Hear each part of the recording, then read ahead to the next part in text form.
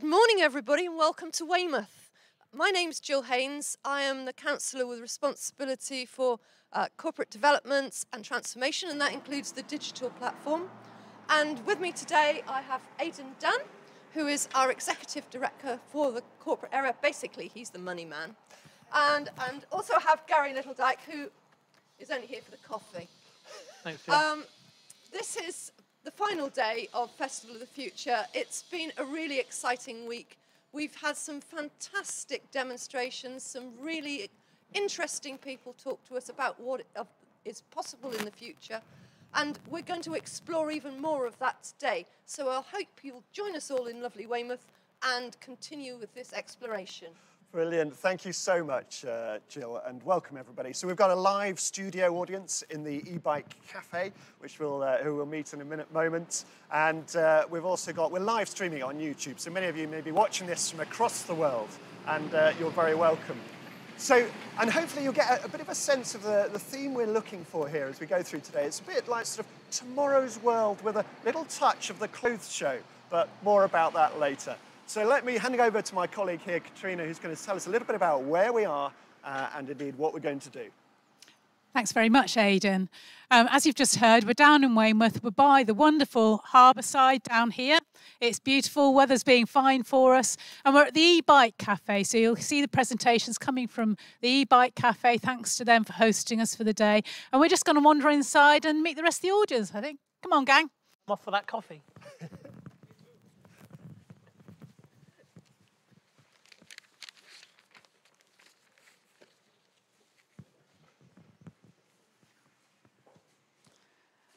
So here we are live in front of our audience at the e-bike cafe. And um, the Digital Place team has been looking at the impact of technology and what it could bring in Weymouth. And they've done something called a Smart Place Demonstrator. Managing that project has been Tim Robertson, and he's here with us now. So, Tim, what is a Smart Place Demonstrator?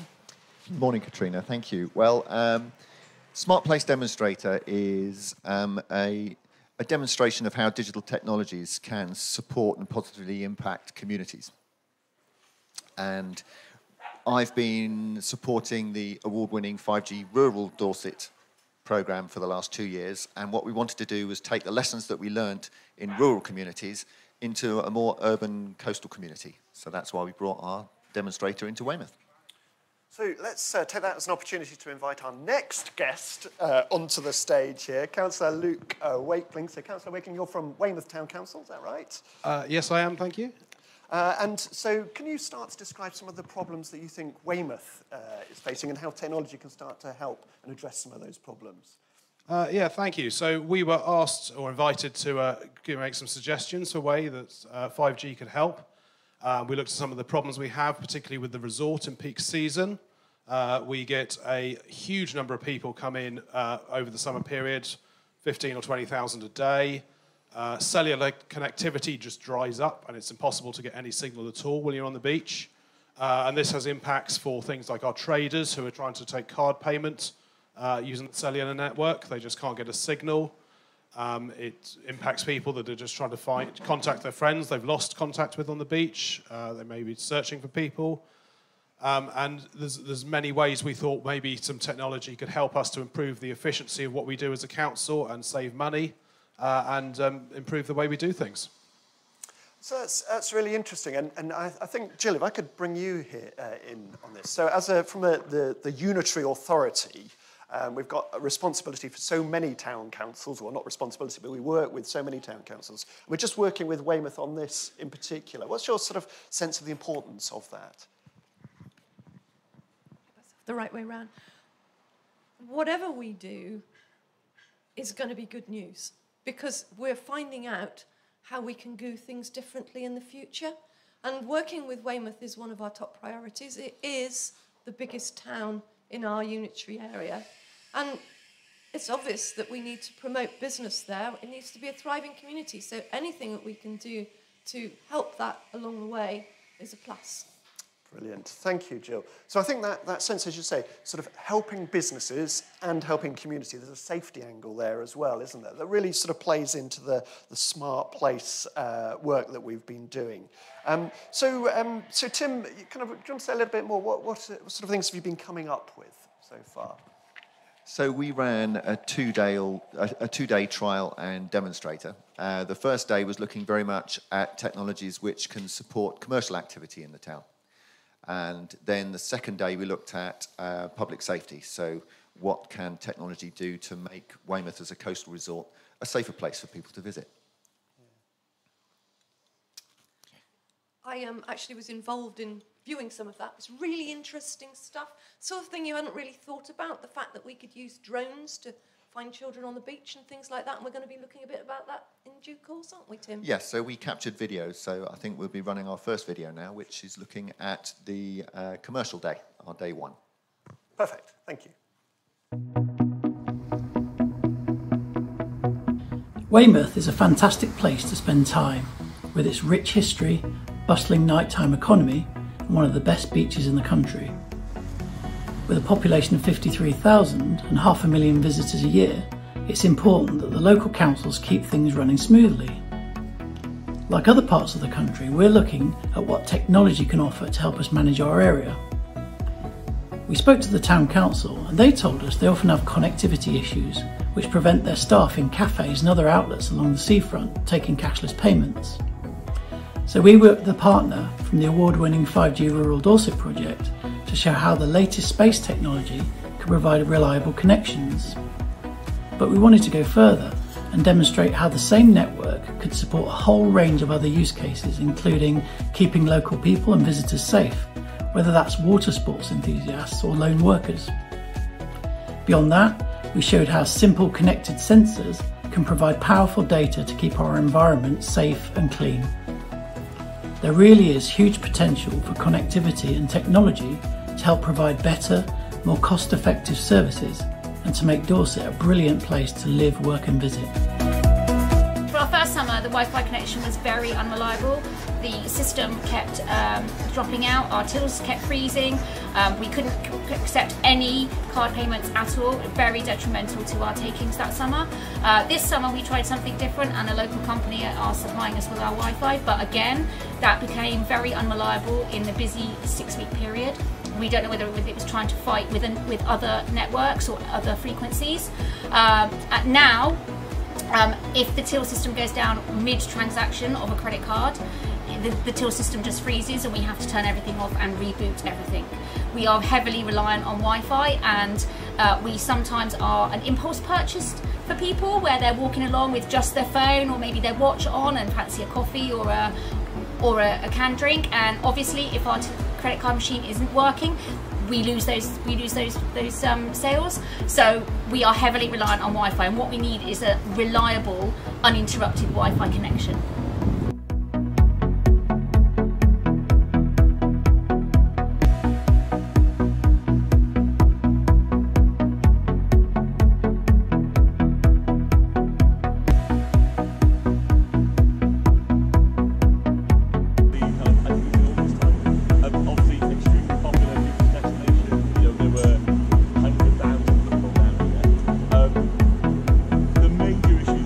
This week Excelerate has brought down a range of technologies to trial with various stakeholders along the Weymouth seafront.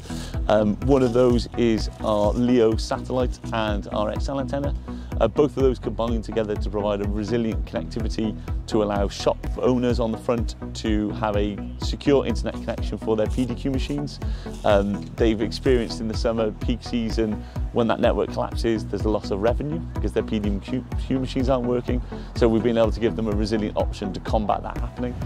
So what we've got here today is a satellite connectivity kit connecting to lower orbiting satellites going overhead where as long as we've got line of sight to the sky, we're able to, to provide a continuous internet connection to the cafe over here via one of our Wi-Fi hotspots, meaning they're able to take PDQ payments all through the day, no matter how congested the area is.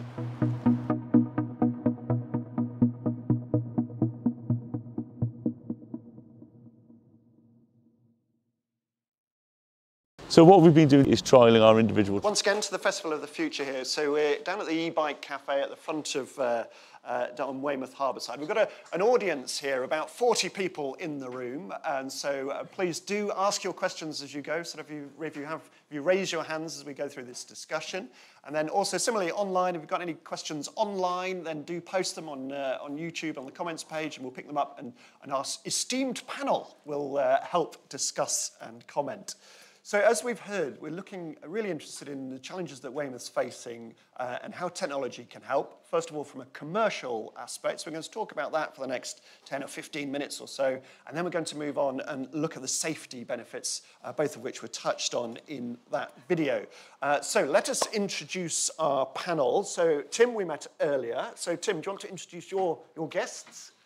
Yes, indeed. Well, to my right, we have Callum, who you've just seen on the video. Callum Farrell from Excelerate, based in Cardiff. No, Cardiff, yes. And uh, to my left, we have Sarah Levitt from IoT Solutions Group, who'll be talking about the IoT work that we did. Brilliant. Welcome, welcome both. And then we met uh, uh, Luke earlier, so uh, welcome once again. And delighted as well to have Paul Appleby, who's the president of Weymouth and Portland Chamber of Commerce. So, in particular, sort of the, the commercial aspect, but also a tech background as well, or work in tech as well, in both London and Weymouth. Combine the two. That's right. I have a tech company based here on Portland, uh, servicing clients around.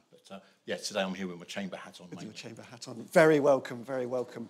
Um, so, uh, Paul, can I start with you then? So, what, what's your sense of how the technology that's been described, how that can, can help some of the commercial challenges uh, in Weymouth? Well, the timeliness is excellent because in my off, my chamber office, so to speak, I get a lot of complaints about connectivity, especially for businesses, uh, especially about a lack of a lack of town Wi-Fi is on everybody's wi- uh, town Wi-Fi is on everyone's wish list, but not but but very difficult to do because of the, the, the sheer waves of people that come in at certain times of the year, and of course, and then it quietens down at other times of the year.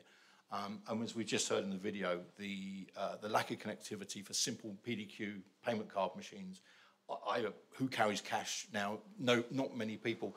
And around the town, you do see notes on doors saying cash only because of in, just general internet connections, not just the beach, but everywhere. So the, I, I love the idea of having uh, a ring-fenced Wi-Fi network just for the businesses. Now they could either subscribe into that, or it could be part of their leases and that sort of thing. Those commercial arrangements are quite easy to come up with. Uh, and the tech is relatively easy. It's, it's a simple Wi-Fi connection. There's good fibre in the area. Um, or it could be done through the, the, the, the satellite link that we saw earlier. So there's, th- these are easily solved problems. But um, I'm also uh, excited about the Internet of Things, the IoT, Internet of Things solutions that are coming up, that I've heard about today, and, I, I'm looking forward to, to hearing more from you on that. Well, should we, should we bring you in at this point then, Sarah? Do you want, we've got microphones from every direction. Thank you. yeah, do you want to sort of say a little bit more about how the Internet of Things could help Weymouth uh, as a coastal resort? Yeah, absolutely. And um, for anybody who isn't sure what the Internet of Things is, the Internet of Things is where um, devices can talk to each other and share information. So if you have a, a smart hub or a um, smart thermostat at home, that, that's an Internet of Things technology and it's sharing information. And so you can have tiny little devices like these kinds of things that are set up in, um, in councils to monitor all kinds of different things. And the demonstrator that um, was mentioned earlier that we did with Tim um, last week, we had um, two types of sensors. So we had a bin sensor that was inside the bin, and that is monitoring the fill level. So as the bin's getting full, it could send a message to the waste management teams, okay, I need emptying before I overflow onto the beach. Or um, you have a pipe sensor like this um, that is used to monitor the water temperature in the public toilets and things like that to protect the, uh, make sure the water is safe and that people aren't going to get scalded, things like that. So those, you know, those small bits of data can be sent back very easily um, and can give really important in- insights for decision making. Uh, really interesting. So let's um, let's talk about bins. Yep. It's always an interesting topic from a council perspective. Uh, Luke, can I can I what, what's your talk to me about bins um, from uh, as a local councillor? Is this a, a, topic that local residents are particularly uh, concerned about? Uh, bins. Any councillor will tell you bins are probably the number one topic anyone wants to talk about. Um, yes. So the the Weymouth Town Council was responsible for the beach and the waste cleansing on the beach. Um, and it is, in fact, our biggest single financial cost is the waste cleansing on the beach, and also our biggest climate impact uh, from the Scope 3 emissions uh, from that waste contract. So for us, it's a really important thing um, to try and learn more about this, this collection and look at ways we can uh, make it more efficient uh, and save money and reduce our carbon footprint. So um, I was really interested in this trial. Um, I think it's something very similar to this on top of one of the bins. And it gives us data every 30 minutes as to how full that bin is.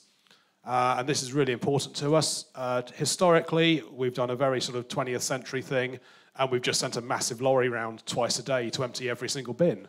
And we have no data behind that decision. We don't know whether it needs emptying twice a day, whether it needs emptying more or less, or whether the lorry is going at the correct times. Uh, so this trial, uh, really keen with the data we got from the, the little trial, and it's something I'd like to see if we can use more in future, uh, because it will give us a really great data set to inform decision making, and hopefully by doing that we can both save residents some money and also reduce our climate impact. Yeah, really interesting. So I, one of my roles is the, is the council's finance director, and that, that sense of how can we use our, the the limited resources that we've got, how do we make the best use of them? And, and data is crucial to that. I think that's really important. Now, I've got a signal that we've got a question from the audience that's going to be read out, and Tim, you're going to be answering it. Okay. um, somebody's asked the question what about the digital left behind people who don't use technology in their daily lives? Uh, my argument there would be that um, by allowing those who aren't digitally left behind to make use of digital services, we can free up resource that would otherwise be used to, make, to provide better services to those who are offline. Uh, so that would be my response to that. Aidan, did you want to add yeah, anything no, to that? I absolutely agree. Um, digitally left behind, I, I think this is one of the big roles that we as a community and we as a council can help with in terms of promoting digital uptake. And certainly um, Dorset Council has sort of has our digital champions, in particular through the library service. So sort of raising the profile and raising the skill level. We've got a wonderful range of volunteers across the county who are providing skills.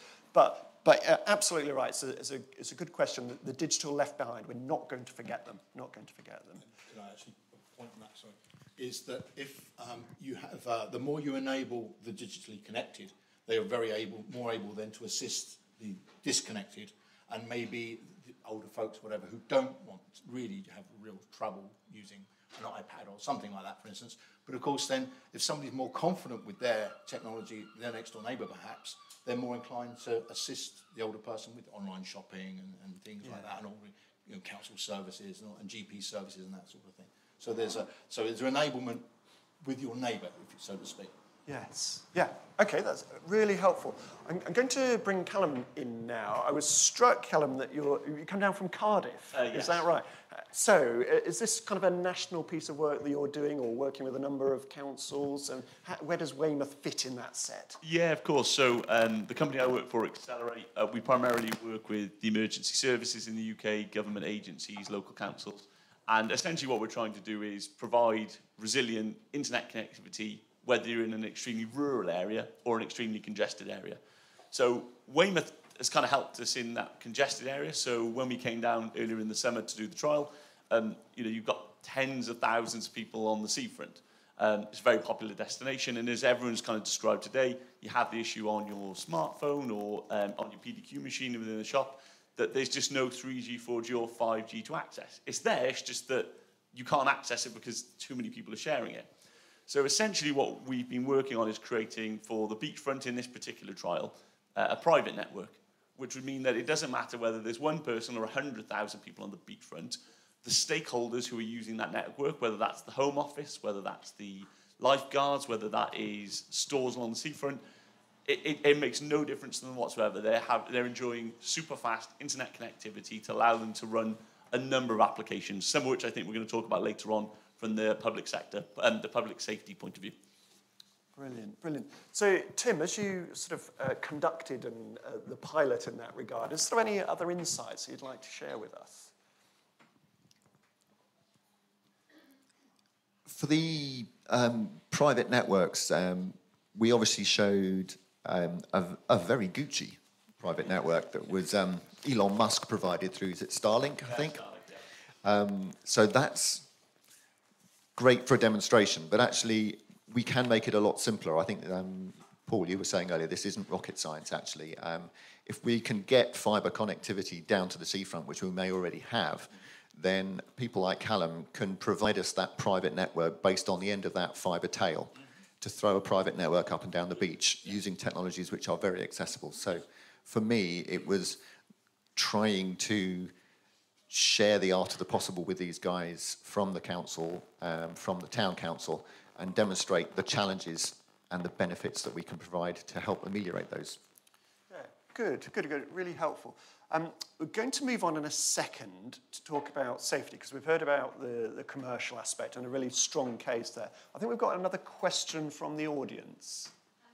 You, um, we've got one coming from online. So it says, the Internet of Things increases our sus susceptibility to hostile actors. What are you doing to make sure our digitally enabled services are protected and we don't lose critical services like bin collections? What a brilliant question. Wow. um, so the the data is um, protected in all kinds of different ways, um, and it's shared over the cloud, and it's the council have specific access to it, and it is restricted. The access to the data is restricted.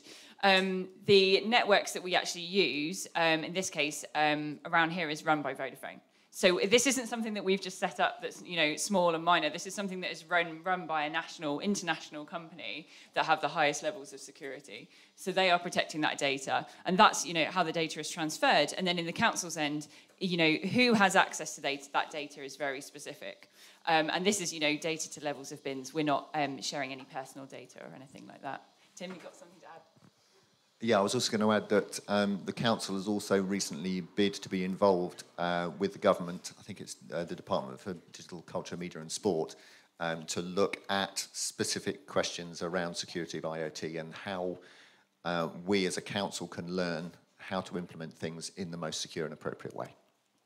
Just add to that with my tech hat on, I can tell you there's a way with Wi-Fi to simply isolate a channel, if you will, just for that traffic and it's, it's very secure and very well proven and tested constantly. Tested constantly. Okay, that was a great question. We've got another question from the audience. We've got a, a roving mic. Uh, question from the audience. Could you introduce yourself, please? There, my name is David Northam. I'm a Weymouth Town Councillor, and uh, I, I like to hear about bins, but not only about bins. So my real question is, what other aspects were demonstrated, because I was away on holiday and missed the demonstration. I'd be interested to hear what you think got the biggest reaction from people and what you see as something that you're going to push forward with. Thank you. Okay, great question. I think this lines us up nicely for you, Tim, to say about the second day of the demonstrator and some of the things that we explored there. Uh, yes, thanks for the question. Um, biggest impact, I think, from day one was data from IoT to help us make decisions because we don't know what we don't know at the moment. And then from the um, network point of view, it was how private networks can protect commercial's ability to do cashless and how much business is lost through um, congestion of the public mobile phone networks. So those are the two biggest bits of learning, I think, from day one. Um, Aidan was just talking about day two. So on the second day, we focused on public safety. And this demonstration uh, was run with partners looking at search and rescue. So how can digital technologies help take the search out of search and rescue? And then we also looked at a problem which I never knew was a real problem, which um, it's a public safety issue where pe people bury disposable barbecues on the beach. They're, they're, they're too hot to pick up. They're all covered in stuff. You decide you've got to go and catch a train. What are you going to do with it? They dig a hole, drop it in, cover it up. That then burns people's feet, cuts people's feet. So we, we, um, we had a play with how thermal imaging on drones could look at that as well. So I think it's time to run VT for day two. On day two, we worked with an exciting company which specialises in using drones for public safety. We wanted to show how the same resilient network, which enables cashless payments, could support a high definition video feed from drones, helping in search and rescue missions. Connected drones can also use heat sensing cameras to locate hazards such as disposable barbecues buried on the beach, which can cause nasty injuries. So let's take a look at how connected technology could make Dorset a safer place to live, work and visit. Hi, I'm Gemma Alcock, founder and CEO of Skybound Rescuer, and we specialise in the use of drones for public safety. We've been working on software that will automate and optimise drone mission plan for public safety for use cases like finding missing people in the water like we're doing today. What makes our solution different is that it creates automated, data-driven mission plans. So it looks at what is the optimal flight parameters for finding a missing person or other public safety use cases, which is not possible when using a manual drone team. This means that our performance can be standardized, it can be automated, and it can be data-driven, so that we can make sure performance to a high level every single time and we can also make sure we have rapid response. So we're here today supporting Skybound Rescuer, uh, providing resilient connectivity using LEO satellite constellations and our XL antenna to allow them to stream a live HD video feed to the rest of the organisation.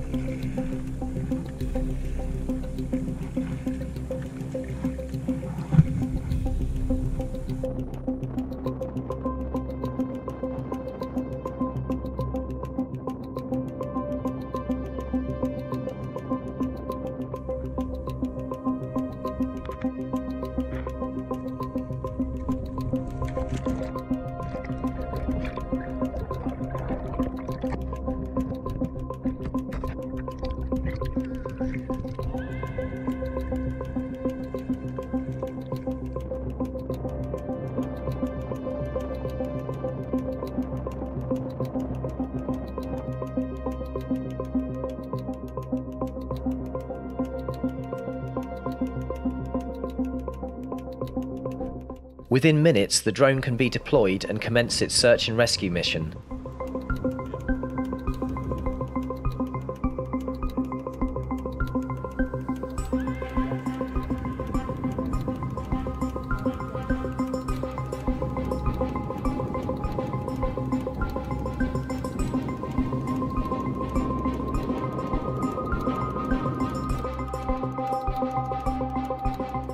This follows a predefined plan across a geofenced search area.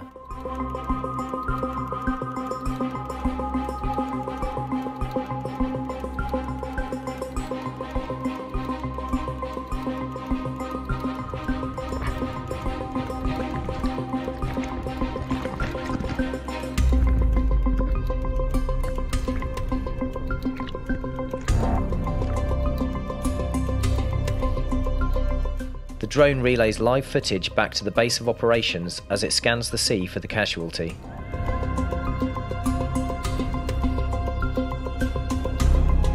Once the casualty is visually identified back at base, the recovery team can be dispatched to the exact point using the What Three Words positioning system or GPS coordinates.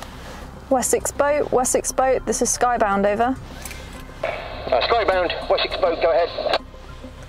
Skybound drone has found the missing person. Stand by for what three words? Standing by. Joined, thanks, Mini. I repeat back. Joined, thanks, Mini. That's an A firm. All copied.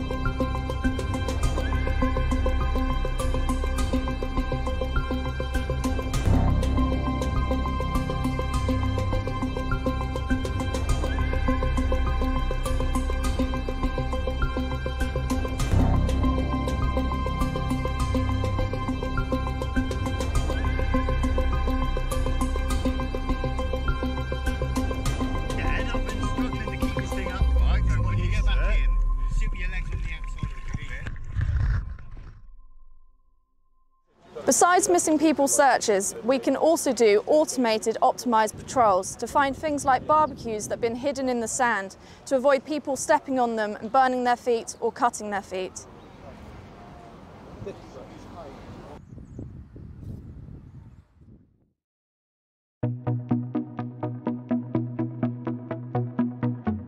As with search and rescue missions, a predefined plan is plotted into the system and the drone is deployed.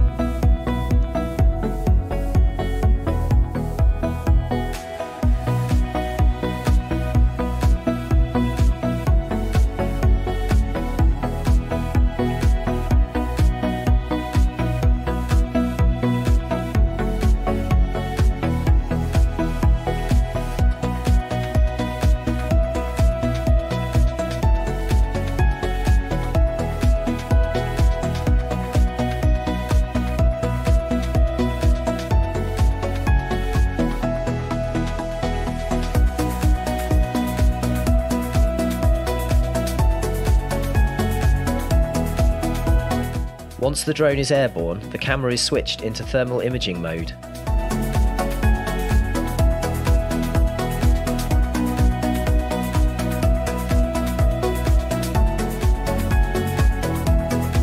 The thermal camera detects hotspots in the sand but can also pick out other shapes such as people, buildings, and water, making orientation with the target easier for the retrieval team.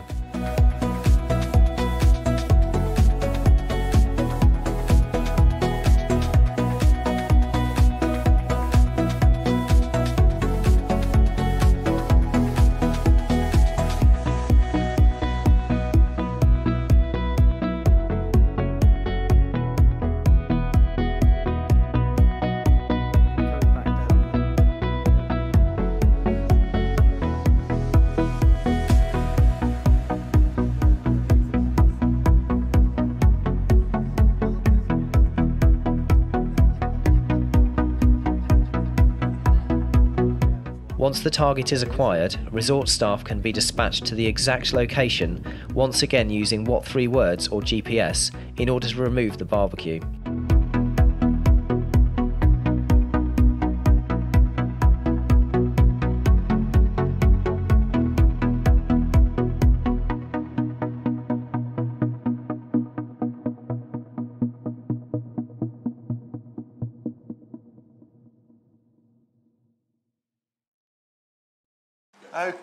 And welcome back. Welcome back uh, into the live uh, studio. So really interesting uh, to see there the, that this technology is already available, and that's I, I guess that's the whole point of the demonstrator to see that it's already there and there's a, a real live uh, use of it there. So um, you may have noticed that we've got uh, an additional guest uh, on our table here. So I'm delighted to, to welcome Wayne Hemingway to join us. So Wayne, you're a, a famous urban designer. Do you want to just quickly introduce yourself and then we'll open up the conversation? Yeah, uh, well, you've said my name, so I don't need to do that. Um, we're a company called Hemingway Design. Uh, we're working with uh, Weymouth Town Council right now on, on coming up with a vision and a master plan for the seafront, the promenade, and the um, and the beach. And um, and yeah, we've we've been working on it for quite a few months now. We did a, a survey for about um, I think we had about two and two and a 2,250 people responded and responded in depth, like wrote things for 20, 25 minutes e- each person. Yeah, so we've yeah. got some amazing data, some amazing ideas, and, and we're, we're going to uh, publish those ideas and start to discuss them. And it's proper co-creation, is this? You know, we we we haven't just come from that there London and, and going to put ideas onto uh, onto Weymouth. This has been done with the people of Weymouth, and and, uh, and our job is to bring all those ideas together, and we'll present what you're all saying uh, in a few weeks, actually, in, in early November, and then discuss it again with everybody and, and see where we take it. From there. So, um, uh, brilliant. It's, it's, it sounds like a really fascinating piece of work. Now, one of the things you're already describing is the, the passion that the residents have and the love they have for this place. And everybody wants to make the best of it, but so many different ideas. So, we'll look forward to hearing more about that uh, shortly. Uh, so just, just thinking about what we've just seen in terms of the, the possibility of uh, safety through the demonstrator and, and the use of uh, drones. So, so Tim, what was your sense of um, kind of the real power of it? Uh, are these kind of case studies, are they kind of, is there a genuine need and demand for this? The hardest part in terms of marine search and rescue is the search part of it. Um, it's incredibly difficult to find people at sea, especially if you're searching from sea level itself. You're looking for something the size of a football. Um, so as soon as you get seas um, six inches higher, then that thing is hidden amazingly quickly. So there's a real need. Um, the technology is moving apace, as is the regulation around it. There's a little bit of future gazing there.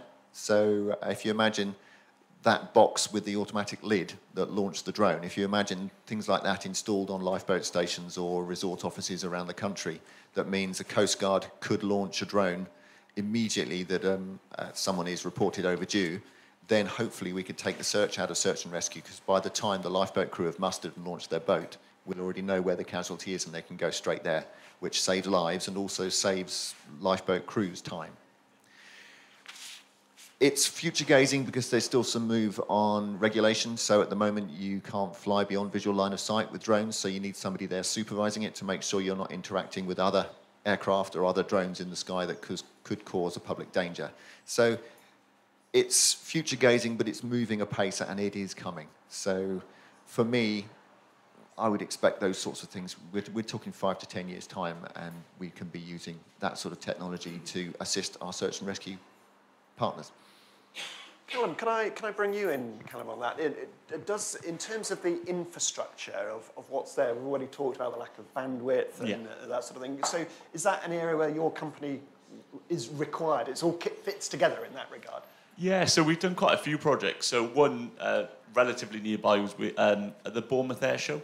So we worked with Dorset Police, who set up a private network there, so that in the same way you've just seen that drone launch there for a missing person search, if they have got somebody missing in the water, or if there's an accident, or there's a missing child, they have a drone within, within Dorset Council. They're able to launch that. They're able to uh, survey the area, see what they need to, uh, and try and find the person they're looking for. The connectivity that we provide means that they can share that with other agencies. So, for example, if there's an accident at the air show or a major event, they can share that with the, um, the fire service. They can share it with Southwest Ambulance Service. And, you know, some of the work that we're also doing um, in, along coastlines throughout the UK and other areas of the UK is for something called telemedicine. So essentially the ability for paramedic, paramedic or first aider or a lifeguard to if you if you've run into an issue or injure yourself in the area, they're able to get you the quickest. They're able to carry out their first aid training. But actually, if they need assistance or they need the opinion of someone else, the ability to turn on something like a body worn camera or a smart device and securely share that feed with a local GP practice, a local A&E department, so that actually you're able to get that treatment much more quickly. So with all these things, with drones, with um, telemedicine, just with general sharing information, you need that bedrock of the connectivity so that you're able to um, securely and quickly share that information with other stakeholders who are able to help. Brilliant. That's uh, it's really helpful. That yeah, that connectivity. We need that infrastructure for the Internet of Things to connect and the drones. So I think this leads us to another question that we've got coming in. I'm not sure if this is a global question or one from the audience. Um, this is one from online. So someone's asked, are the drones restricted by the weather? Good question. Yes, they would be. Um, there will be parameters in which they are limited, but the same is true for helicopters as well, and the same is true for inshore lifeboats. They operate under weather restrictions as well. It's only the all-weather lifeboats, the really large ones, which are able to launch in any weather. And um, my understanding is that the data shows that actually the vast, vast majority of rescues and searches which are undertaken are undertaken in calm weather. So yes, it would be limited, but it would also still provide an enormous amount of value when most searches actually happen in fair weather. Good question, good response. Thank you. So, Wayne, can I come to you for a second? Uh, you'll be telling us more about your kind of research uh, later. But to what extent? I'm not Oh, you, you know, in- in oh, in a few, three weeks. three weeks. Okay, so we'll, we'll, we'll keep filling till then. um, how much, or I'm just thinking about the technology uh, that we're starting to describe today. How much of that is are you building into your thinking? Not, not particularly for Weymouth, but for anywhere. How much is technology influencing urban design? Yeah, I mean, technology does influence it, but we don't get hung up on it because the, the main the main thing that urban design is about is about people and place and about and there's a, sometimes there, you know I'm going to play the devil's advocate here a bit. Sometimes you can. If you start to get hung, hung up on technology, you can get immersed in it and you forget about the basics of, of being a human being. And the basics of being a human being are being social. Uh, and, some, and sometimes, you know, whilst technology can help with you being social, sometimes it can stop it. Uh, and, and so a lot of the main thing that we think about as urban designers is how do we bring people together physically? Uh, because that is what towns and places are supposed to do. The reason why uh, a place like, if, if nobody came to Weymouth and, and the prom in the middle of summer was quiet, less people would start to come. People like that buzz of being together with like minded people, or sometimes not that like minded, but just that whole thing about seeing people, feeling part of something. The reason why we go, why 200 odd thousand people go to Glastonbury is not just to watch the bands on the stages, it's to be with other people and, and, and to enjoy yourself. So the main thing as urban designers is to, bring is to bring people together in a convivial atmosphere so that we can do the thing that human beings like them, not all human beings, we do get some people who don't, you know, don't get, who sometimes like to be away from human beings. But most, the reason why we live together in towns and cities is because we are, we are social animals. And that is, we know that that is our main job as, as urban designers. Yeah, Oh, brilliant, brilliant. That's really interesting to understand. Uh, thank you for that. We've got another question from the audience. Yeah, there's another one about the demonstrator actually. Someone's asked, um, the demonstration looked good for finding someone in open water, but how effective would it be for finding a lost child on a packed beach in the middle of summer?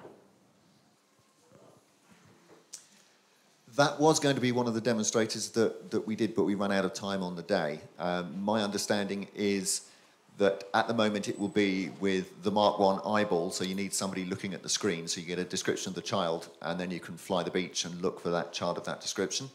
Um, the aim in the future would be to use um, artificial intelligence and facial recognition to be able to find people that you're looking for. I know um, in other jurisdictions that's already being used in a law enforcement way, um, sense, but it could be applied in a search and rescue sense as well. Um, so that's a future thing. At the moment, my understanding is it can be quite effective in quickly searching beaches.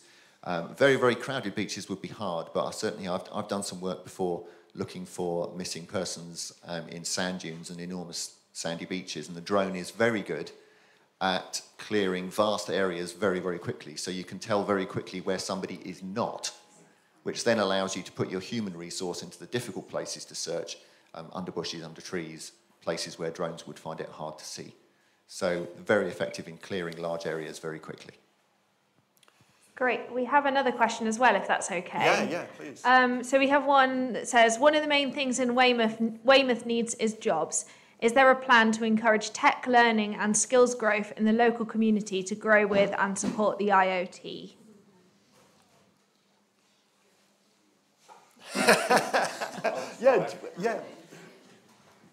Um, actually, I, I, I relate to the question very well because I'm hiring in my day job with a, with a tech business. I'm actually trying to hire someone, and it's very difficult to hire someone in a town the size of Weymouth, which is a decent sized town, um, compared to the big cities. Because generally speaking, there's a gravitation of talent towards the big cities because that's where they see that the money is, where the buzz is, and so on.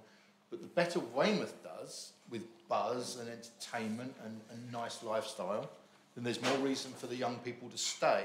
And then it's up to the colleges and, and the schools in the area, frankly, to keep, to keep their curriculum up to date. I've challenged a few of them on their curriculum, and they, because they're driven from the various channels above them, it's, it's lagging behind if you, if you talk to uh, most, most teachers, technology teachers, IT teachers, in, in, they don't know what IoT is, or if they do, they know what it is from a, a hobbyist point of view, or, oh yeah, I've heard of that, rather than actually bring this to the curriculum. And the challenges, the security, the connectivity, the infrastructure challenges around it, that lot needs managing, and it needs managing well. Um, we talked earlier about the security. It's a very important piece of this, is that, that the end user, that's you and me as a member of the public, have confidence that these IoT things are just being used for that purpose, that they are that that is an isolated uh, use of purpose rather than other entities spying on you or listening to you or reading the telemetry you're reading. So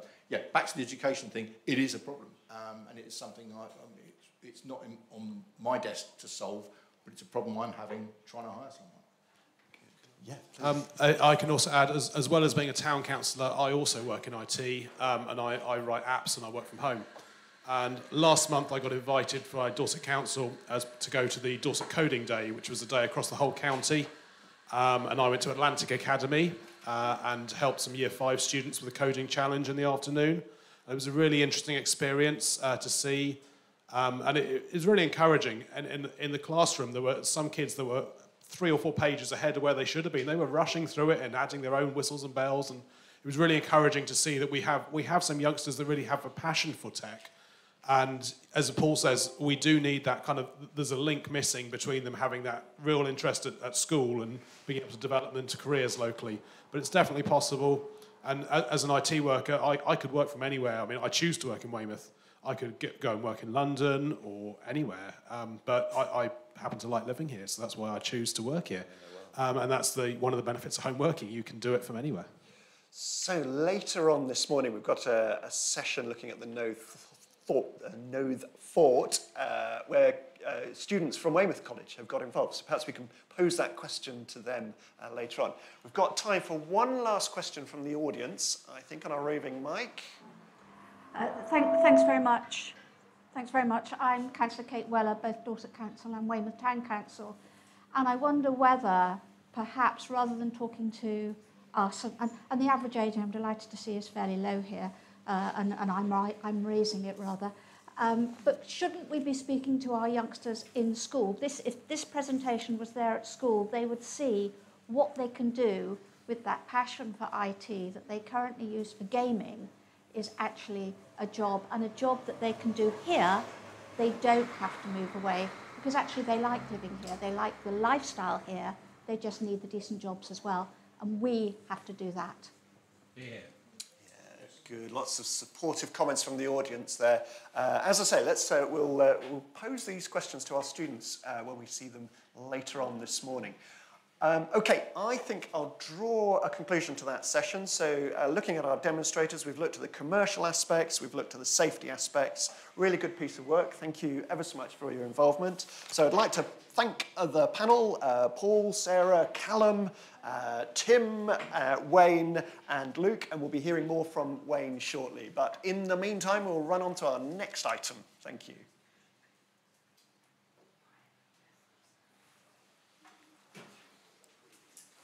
Thanks, Aidan.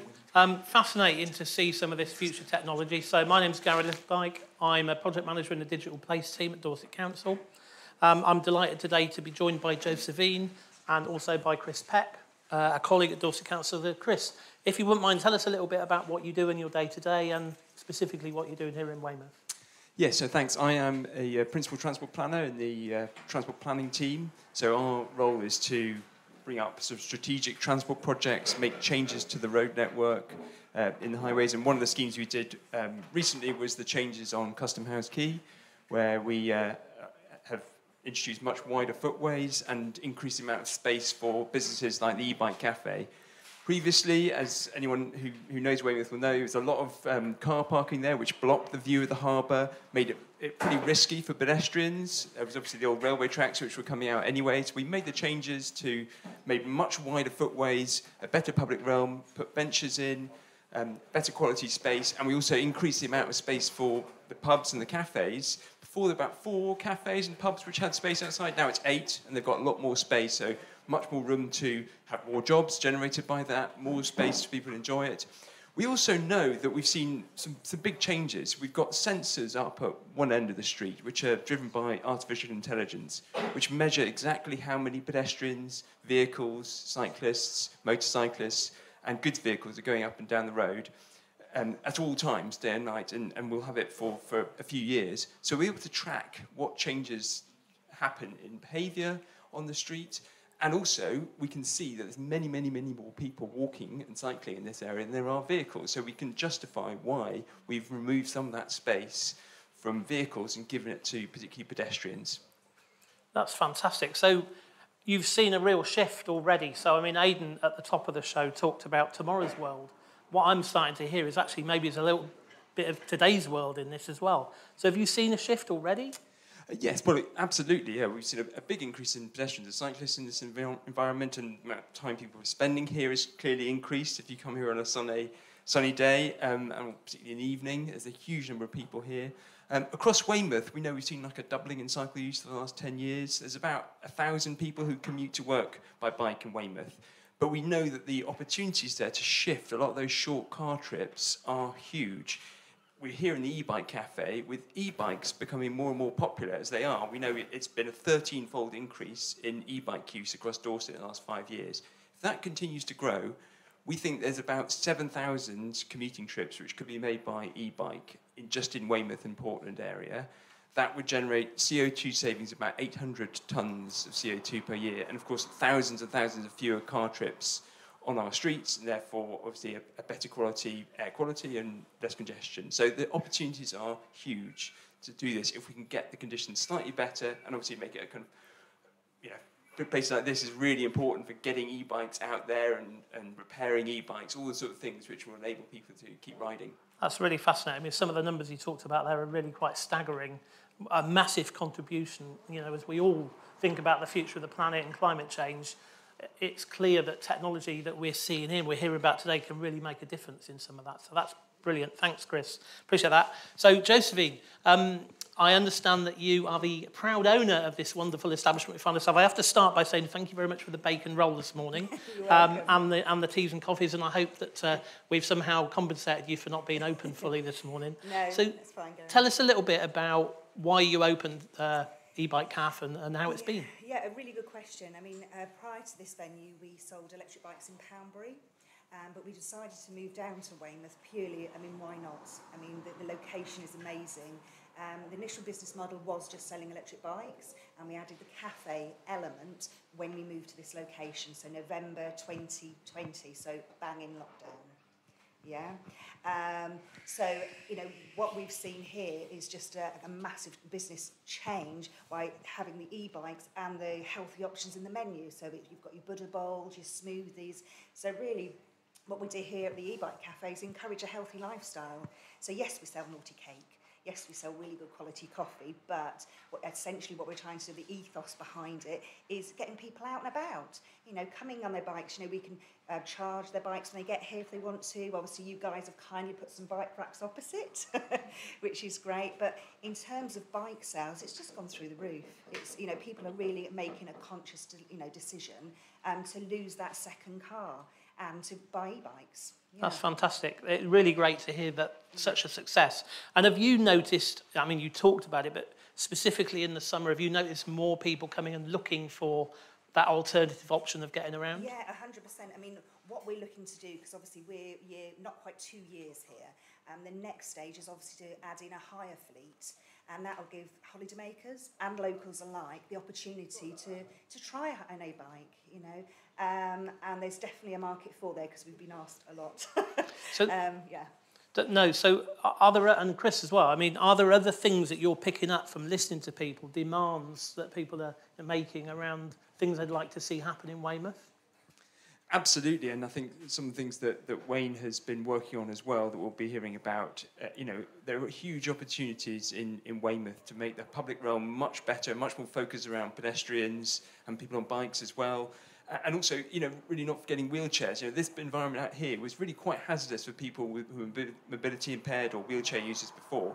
We've made it a lot better, and that's a really important part. We have an aging population, more people are using scooters and, and wheelchair users to, to get around, which is which is great and stay independent. We need to make an environment which is really safe for people, however form of transport they're using, whether on foot or bike or wheelchairs. Fascinating. Anything to add to that at all, Josephine? No, I would just, just say, you know, this summer we've had two summers here. So the first summer was, lot, you know, the, the staycation, which was crazy. But also we're seeing a lot of people returning this summer that perhaps hadn't discovered Weymouth prior, you know, to the, the whole staycation year. So I'm really proud to be part of this sort of new kind of, I don't use the word, but the sort of bougie look that we've got going down here and encouraging different type of people to Weymouth. Brilliant. Yeah. No, that's fascinating. Thank you. ever so- Thank, you both for joining us. Um, don't go too far because we might have some questions in a little while. I'm going to ask Wayne. You heard, we heard from Wayne slightly earlier. I'm going to Wayne to join us again. Um, Wayne is one of the, as you heard from Aidan, Wayne is one of the leading urban designers in the country. And Wayne, uh, you're going to tell us a little bit, bit wider about what you do and, and the impact it can have. I think so. I'll Yeah. leave you to it. Yeah. Thank you. Get this working. Um, so I'm going to talk a bit about the future of, uh, of town centres. And there's been a lot. Been a lot of talk in the media for the past well, few years about how uh, town centres are kind of um, declining, and, uh, and and it's the and internet shopping has, has ruined them. And, and there's no and there's no way, and there's no way back. Well, um, it's rubbish. Um, this, there's never been a more exciting time for town centres, and it's just and some town centres and some towns are absolutely flying at the moment, and it's just about it's just about get, getting it right. Um, and I think the best place to start is that shopping is not the be all and end all. That concept, that, that 80s concept about shop till you drop, was stupid, is stupid. Um, town centres are, about a lot more. And if we take it back to, to, to when I was young, so that, that's me and my missus, top left hand corner. We met in a town centre when we were teenagers. Town centres for both of us were about, the main thing that they were about was about meeting people, about dancing, about clubbing, about watching bands, about meeting your mates, uh, and ultimately about uh, probably having a kiss or, and, and, and other things that lead that, that, that go from that. Town centres, like I said earlier, are about human beings getting together. A side product of that is shopping. If you get people together and having fun, then when people are having fun, they'll spend money on coffee, uh, on shopping, and, and, things like that. So the example of my, my hometown was Blackburn. Um, they, at, at, you know, not a big town at all, um, 140,000, so less than twice the size of this. You know, not that far from Manchester, but it realised it had to do things to stop you. You know, you talked a bit about, you, some gentlemen talked about uh, young people leaving. That's a brain drain. It's not just a brain drain. It's it's a it's a drain of it's a cultural drain uh, of a town. Uh, Blackburn didn't allow that to happen uh, it, it, would promote. I, I, saw David Bowie in Blackburn in a smallish venue when he was when he was a big act. Uh, when I was so 1972 on his Aladdin Sane tour, it changed my life to be able to come from a small town and to see David Bowie playing there and be able to go and see him. But it was more than that. They, they promoted the Sex Pistols after that. During they were never afraid to be at the cutting edge. Wasn't the council? Um, there was nightclubs everywhere. Me and me and Jera, my wife, we met in a we met in a club in Angels in Burnley, uh, and and we're together for forty odd forty. 42 years, 42 years later, and what we and, and, and from there we created um, our business, our first business, Red or Dead, etc., etc.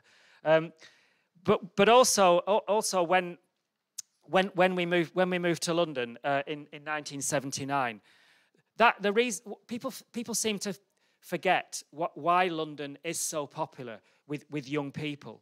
And people think that London is this place where it's, oh, it's re- that really expensive city where you can't afford a house uh, and, and, and where it, it, it's, it's really, really busy. Well, let me tell you something else about London.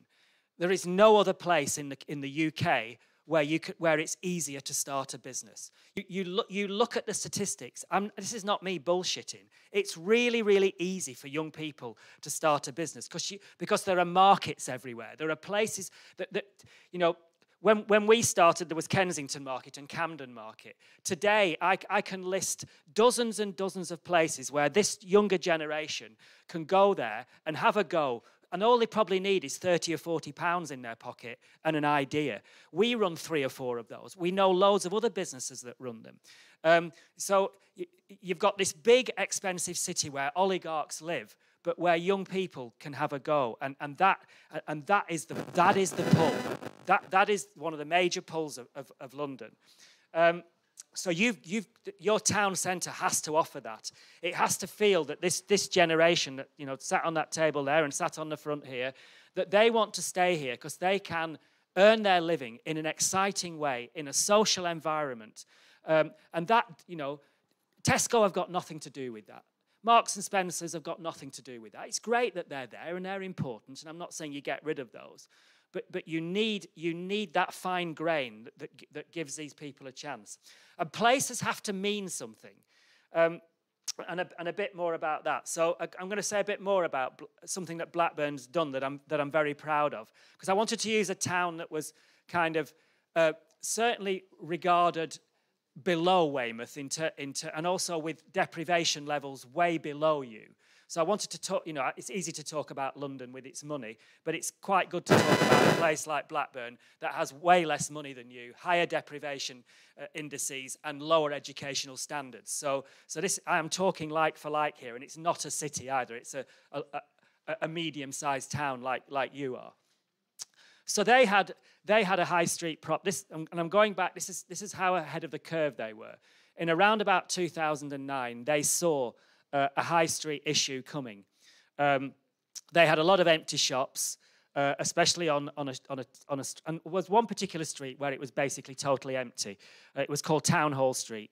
They bought up all the empty shops. Um, you know, not as, as shops here aren't, they're not, exp not expensive. They're within a council's range of doing things. It takes bravery uh, and it takes a bit of um, ignoring public opinion sometimes They were saying you should be spending it on toilets and potholes and, and all, all those things that are important. I'm not saying that toilets and potholes are, aren't, aren't important, but there are other things that are important as well. So they bought the shops. And then, and then, they, then they put out an invitation to tender to, to do something that was you know, all, towns do make mistakes. Um, even progressive ones like Blackburn and Progressive Council, and they wanted a design agency to wrap those shops in, uh, in graphics to, to show the history of the town. And we just said, why do you want to look back? You know, why, why do you want to show what that shop was in the past? We, we, so we, we put a bid in and said, look, You've got to look forward. What is this town about? Well, I, I know what it's about because I'm from there. It's a town about making. It's a on the on, on my beloved Blackburn Rovers shirt. It says Arte Labore by skill and hard work. On my school jacket, it said Arte Labore by skill and hard work. And above the town hall, and, and my mum uh, worked in manufacturing. Gerardine's mum and dad worked in manufacturing, uh, and so we said, look, why don't we find all the under 25 makers in the town, people who are starting out making things, whether they're making chocolate, whether they're making jewelry, whether they're printing t shirts, and let's give them the shop for free. But, the, but, but, but let's make it performance making. So they, they, they sit in the, or they stand in the, or they make in the, in the shop window from Thursday to Sunday, uh, and, and they have to make in the shop window and then they can sell things in the, in the rear of the shop and it's totally free for them to be in there. You might you can do it it'll save on your rates etc etc and they did it and we so we created this street that was full of this phrase that we made up called performance making. It absolutely worked. We had the chocolate maker we had somebody making bikes from old parts. It became a tourist attraction in the town of people bringing their families to, to walk up and down and seeing these young people doing something. It, it brought that experiential, that experience of town centre shopping into the town. When you start to do that, you get on telly. Um, you know, the, the, media loves doing in, in interesting things. We, we managed to get three quarters of a million from the Arts Council to buy the bank on the corner and create the first making rooms outside of a major city in the UK. And what is a making room? Well, it's for everybody. It was a three-story building, an old bank, and on the ground floor, we put it, we, we made it mainly for schools and young people. So it was 3D machines, 3D printing machines. One floor up, we made we made it a um, a, an area, a, a, whole area where you could make clothes, over, things that you wouldn't have at home, overlockers, uh, all, the kind of button machines that you would never have at, have at home, so that people could go in there, young people, old people, fix clothes, make clothes. And on the top floor, we made it all um, wood wood cutting machines and things, you know, a man shed for want of a better, it's kind of an old-fashioned term really, because why, sh why should why why shouldn't a woman go and, and, do it? But a place where you could repair where you could repair your doll's house or or, or, or, or make a chair or, or anything like that. And from and that worked, and that's still going 12, 11 years later, and now it bought the building next door, and that's got co-working in it, where, where there's all artists and designers making things. And, and then about eight years ago, we thought, what's the, what's the best thing that you can do about so th that's going to make Blackburn become the preeminent making town in the UK? We said, well, number one, we've got to we've got to prove what we're saying here. So we, we, we, we, we, we found, we could find them from national statistics, that Blackburn had 19.8% of, of everybody getting up in the morning and going to, who went, who got, got up would go to work was making things. And we thought that seems really, really high. So we looked at the national average, and the national average was 10%, uh, and, and, and London was 7%. And we thought, bloody hell. So we did more research, and we found that Blackburn has got the highest proportion of people making things in the UK. So we started the National Festival of Making. And now we have 60,000 people coming for three days a year. It's all across the town centre. It is the National Festival of Making. Uh, the BBC cover it. It, it gets national press. Nobody else can have the National Festival of Making. We are, the town owns it. Um, and we set up a CIC, and it's and and and, and it's and it's just brilliant. And eight years later, it'll be still going eight eight years from now, and that's about a town meaning something. It stands for something now. People can say, "What does your town stand for?" And and Simil similarly, in um, I think our, our second favourite, I'll talk about a seaside project. I think this, I think there's a lot of learning for, for Weymouth from, from any seaside town from this. So Lowestoft is the same size as here, almost within 2,000 people of, of, the size of this town. It's also the, a, a, similar distance from London by train. It takes two, three hours, two hours 53 hours. So similar, similar to here. So not kind of linked to London at all. It's, it's closer to a, a city than you are in terms of it's, it's, it's to Norwich. But, but it's certainly its deprivation levels are again way, way, way below you. And, and there we, what did, what did we do? We, we were working there on a, on a very similar project, a seafront master plan. And we said, okay, we can do what we can do all of this. We, we, we can we can work on the lighting and we can we can but but really what what what you need to, to be is let's do something that, that, that nowhere else could do that, that made you yes a great seaside resort which which weymouth is a lovely seaside resort but could it do one thing uh, uh, something that, that defined it as a place and and and, and we like we always do, uh, and like we haven't done here yet because we're, we're, not, we're not talking about place at the moment, is we get the creative community together and we get young people together and we, and we, and we sit and we talk about what can, what can define your place for the future. And, and, and with this one, it was this woman said, right, well, look at the beach over there. She said, what I do is, the thing that I love most about this place is at 3.50 on Midsummer's morning, AM, so 3.50 in the morning on Midsummer's every year. I go and stand at that point with my dog, and I feel like I'm the most special person in the world. And I said, What, what do you mean? She said, Well, she said, Well, that I, I get there. I feel like I'm getting uh, t- to feel the first light of, of midsummer hitting the UK. So does anybody know why she said that? Pardon? Yeah, so who knew that Lowestoft had the most easterly beach uh, in the UK. We all know about the Lizard and Land's End and John O'Groats, you know, north, south, west, all of that.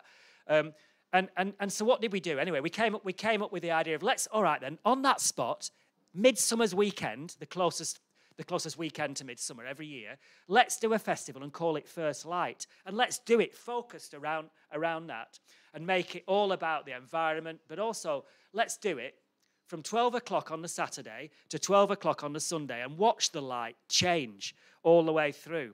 And, and we all thought, are we going to be allowed to do that? You know, will, will a council allow us to build stages? To, and we said, but the important thing is that people stay all night and families stay all night and they can camp and they can camp under the stars or they can bring, or they can bring. And lo and behold, we are now four years into this, 65,000 people on the beach last, last summer including thousands sleeping on the beach, thousands coming to it because of it's so brilliant. Danny Boyle for free um, uh, curating the film effort. If you do something really, di- really different, and and please type in First Light Lowestoft. On the back of it, the funding that we're getting.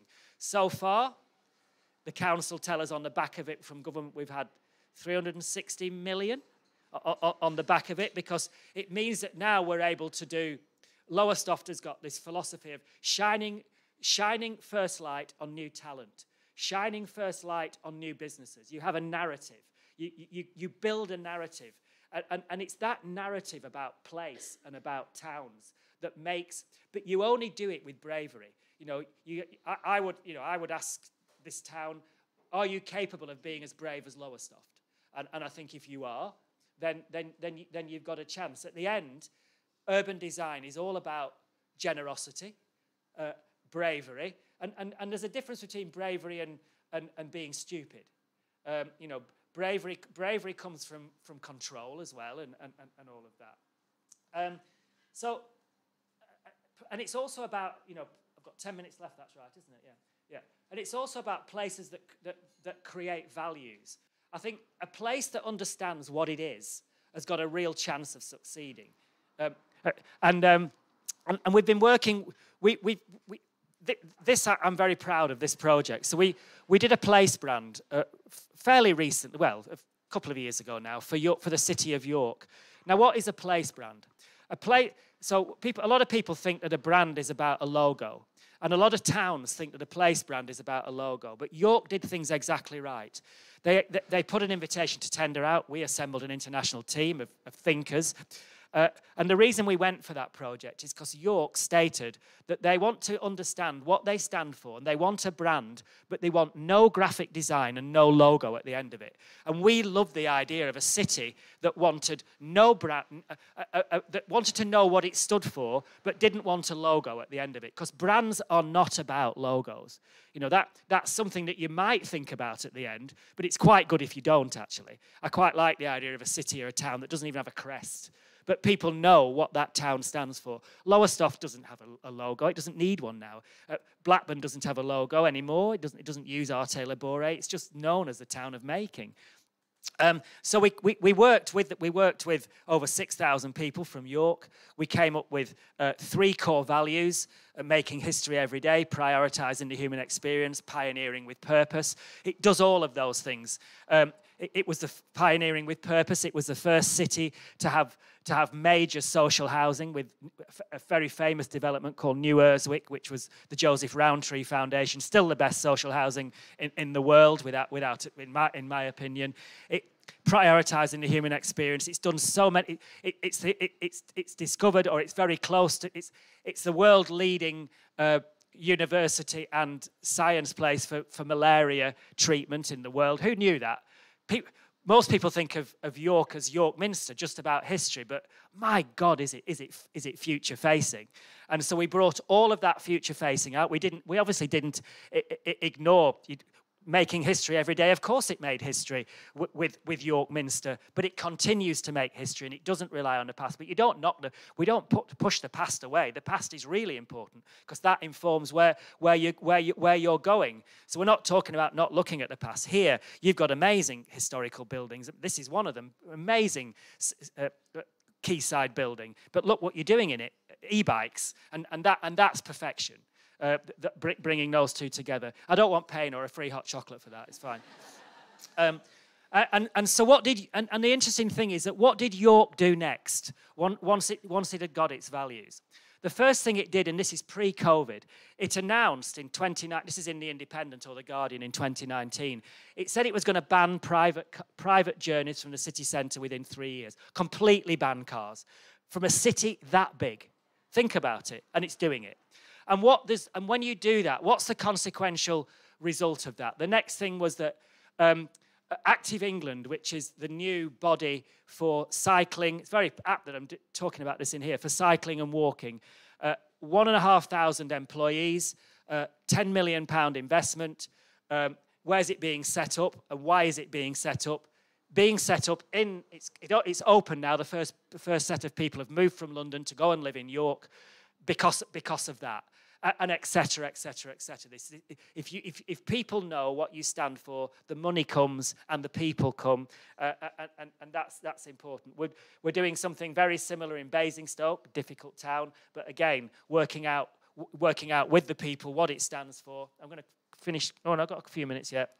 Um, and places that become joined up. So i think you know one of, one of the things that we um, are, are going to try and achieve here uh, this, is, this is a, a master plan for, for Cleethorpes, which you can, you can look online uh, if you type in Hemingway Design, um, Seafront Master Plan, Cleethorpes. You'll be able to see the kind of things we do. And I think this, the Cleethorpes one, uh, a smaller town, this 40 odd thousand, uh, north east coast, coast or east coast. Um, I'm very pleased with what's going on there because what we, what we managed to do is to join up the town centre that, thing I talked about earlier is, you know, you have to make your town centre work by not just thinking about uh, the shops that are in it, but, but how the whole thing flows. And, you know, you have got here a wonderful promenade, beach to die for, lo lovely architecture, and vast numbers of people that use it. But there's a disconnect with your town centre. Uh, quite clearly, the disconnect is that the town centre is not living up to this and, and, and as you walk round to the front, there's, there's, everybody who comes here in our team feels that there's that disconnect. But there's a disconnect that we can't solve because you've got, got two different councils looking at Dorset Council, looking at the town centre and, and across the prom. And so I would urge you uh, everybody who can is to join up and any political things that you've got between you, get rid of them because your town centre will never thrive unless the joy that people get on this seafront uh, and that human experience, uh, that, that, that, beautiful human experience of looking out across Weymouth Bay, uh, which is stunning, obviously, and, and, across to the cliffs and, and, and all of that, and all of that joy of wild water swimming that goes on here and paddleboarding and all of that. Unless that feeling uh, comes into the town centre, then the town centre will not thrive like other town centres are doing. And, and, and, and just, you know, just to say, you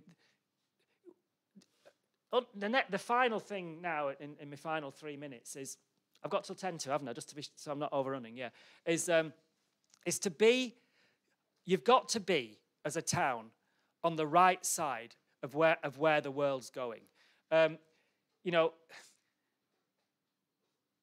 if I hear again um, that a town centre has got too many charity shops, then I'll scream. Um, the charity sector is booming at the moment, and not for the reasons that, that many people think. Um, the, the charity sector is booming because this generation are depopping. If you don't know what depopping, if you don't know what depopping means, then find out. Because they are choosing to wear secondhand because it's purposeful, uh, uh, and, and because they're gradually starting to hate correctly Primark. Um, and, and, and that, you know, that, that, that movement is, is growing.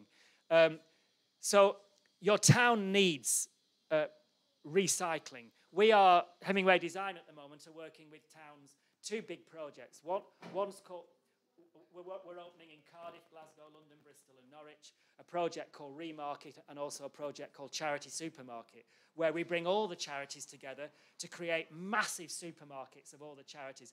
They will become some of the most desirable shops in a town. Um, we're, bringing shelter, um, British Heart Foundation, Barnardo's, TRAID, Oxfam, all together to create to create large with DJs in there, with uh, with with vegan cafes in there. You you you know this you've got to be on the right side of, of this. And if you if a council doesn't know that that's happening, then get young people on who are doing the depopping to come and tell you the, the direction the direction of travel. Um, and, and finally, I'm going to finish with there are some amazing towns for you to learn from, from out, out there. Um, Todmorden. Please look at the story of incredible edible Todmorden. It can be one person that, that, that makes a town work. Uh, Todmorden, a town that was really struggling on the Lancashire-Yorkshire border. Um, about nine, nine, ten years ago, one lady said, right, our town's struggling. What we're going to do, we're going to plant up every single space with edible food, uh, incredible edible Todmorden. And so they worked with the police outside the police station, every square bit of doing things that you could eat. Police, that, that town has become the gastronomic centre uh, of, of the Northwest. Absolutely no doubt about it. Look at the amount of five-star restaurants. Look at the amount of, uh, look at the, look at the, the market there. It, it's, the Daily Telegraph writes about it being a holiday, a place to spend your holidays. Todmorden. You know, I'm from near there. I, I can't, the transformation. But they've done it because they understood the direction of travel about healthy food, about edible, you know, they were well ahead of, uh, of, of, Marks and Spencer's do, doing their plant, what's their plant range called? what's it called? Um, oh, anyway. Yeah. Um, so they were ahead of that. Likewise, if, if, you, if you look at Hebden Bridge, another Yorkshire town, they, they became, they, you know, they probably are the LGBTQ plus capital of, of Britain right now. An, an old-fashioned town that decided to be open. And that town is thriving. Oh, oh my God, is, is Hebden. If you ever get the chance, if you ever go up north, to, to, Yorkshire, go to Hebden Bridge and just look at the excitement when, when you step into that town by being slightly left field, and by, but more than that, by being open and, and, and by understanding where society is going. Um, and then you, you, probably know Frome. You know, you know you, you're within reach of Frome. What an amazing place. You know, Frome Market, that, that sums up, those pictures sum up Frome to me. A place of people where they come out, where they celebrate, and they've done that through, through curation, through understanding the direction of travel. We're working in Andover and doing something similar. Finished. Just on time. Look at that.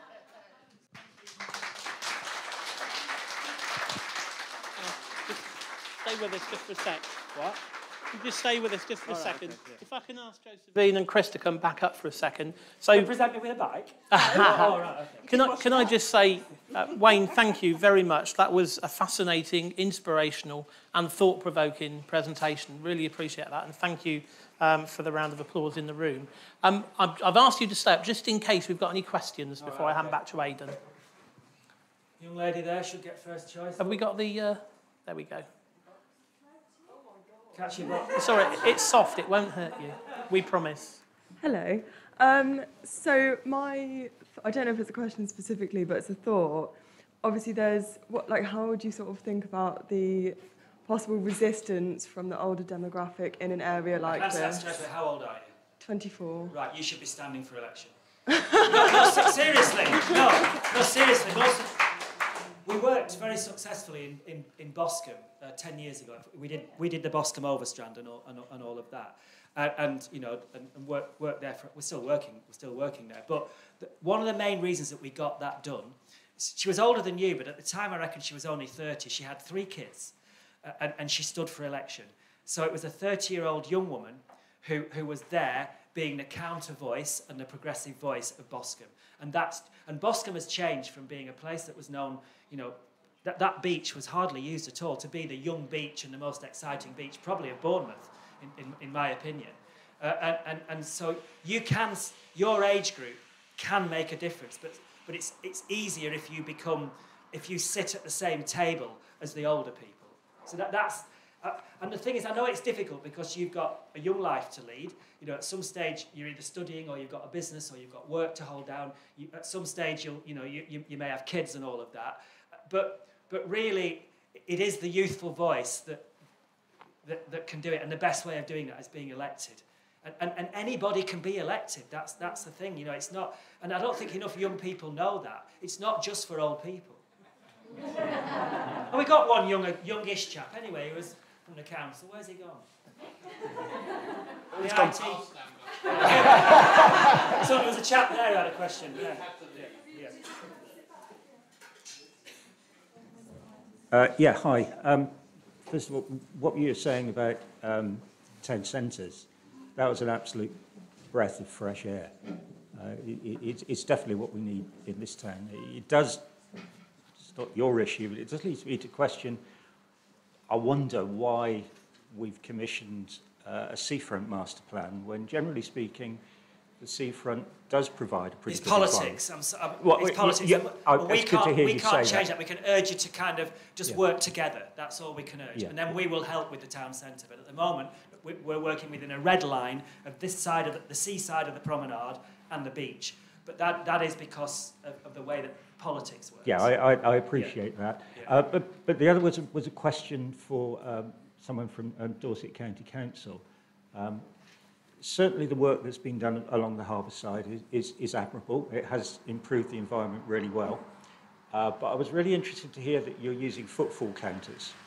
And are you, are you using the data from those footfall counters to sort of analyse the, the effect of the increase in footfall along this very nice area where, as you say, you've created a lot more space for the businesses along here to, to sell their wares. And are you able to analyse the footfall with areas of the town centre where traffic is, it would seem to have been sucked out of the town centre to come to other areas, and also probably from the other side of the harbour as well? Um, so I, yeah, I can, I can comment a bit on that. Um, thank you for the question. So the, the town council also have footfall sensors which operate around the town centre. I was talking about a, supposedly a traffic sensor which operates in a slightly different way, which measures vehicles as well as pedestrians, but it does both, which is is the kind of new way that we can do that with artificial intelligence to do that. Um, and but I think you know the idea that there are people coming here who aren't going to the town centre. I don't think that's that's quite correct. I think if people are coming to Weymouth, they are they're walking around, and and you know if people people will be attracted to one space, they will go to other places. So yes, we we will mon- be monitoring the effect on the impact on on wider usage of the town centre. But as I say, there are two different authorities that collect it in different ways. Dorset Council doesn't have the footfall centres for the town centre, but we work with the town council on on the numbers of people on St Mary Street and so on. Um, but I, I, I don't I reject the idea that what we've done here sucks people out of the town centre. I think it's complementary and adds to to the fact that people will spend more time generally here. And obviously there aren't really very many retail places here, apart from obviously the, the shop here. The retail is in the in the town centre. So this is this is more about, you know, one experience. And as you'll know, part of the issue here is that when the weather's depending on the wind direction, the harbour can be nicer than the seafront. So it's sort of all kind of mixes around. It gives people different opportunities to spend time in different times of the day, have better sunlight, and so on. So um, I don't think it's it's one or the other. I think it, it works together.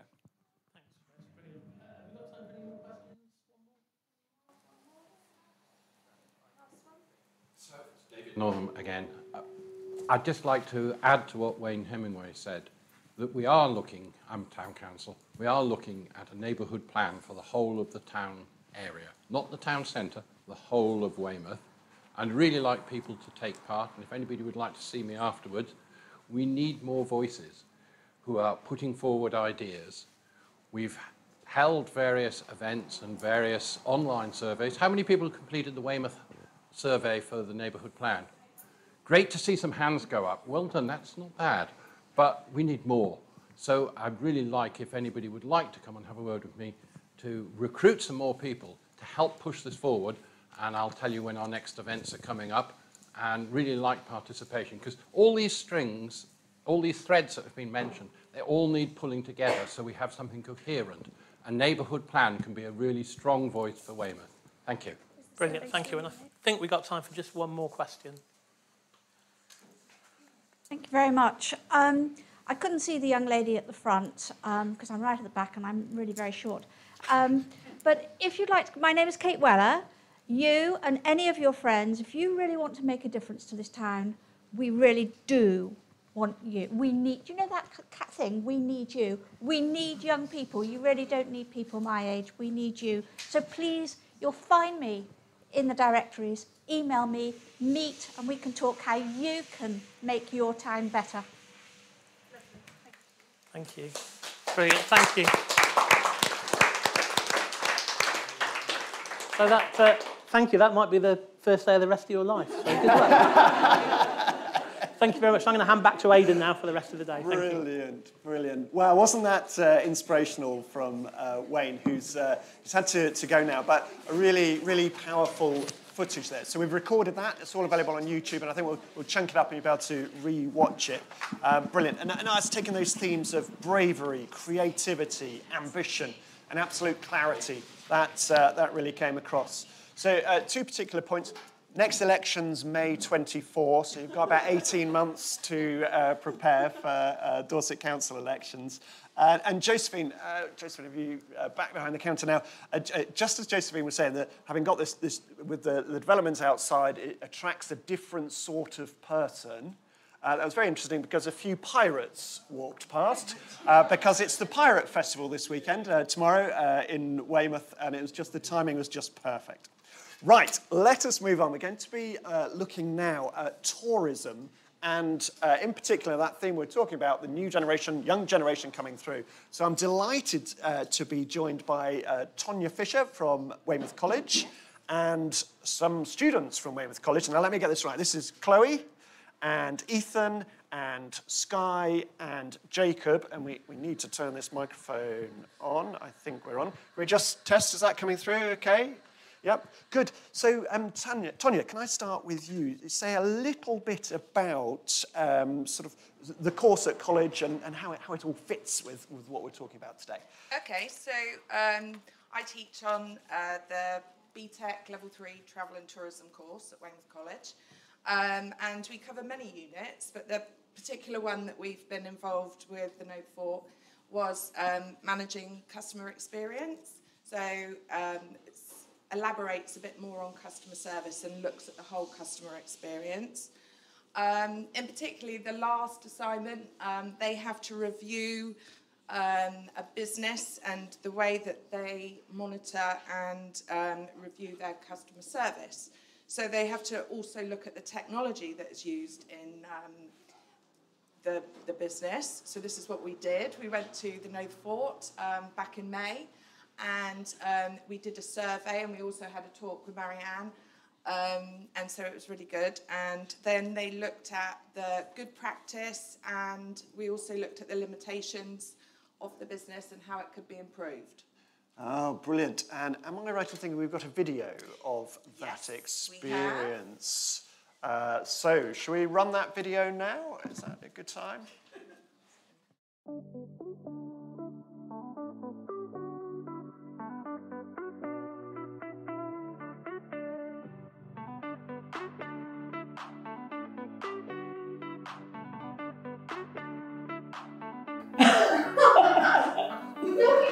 Oh, there we go.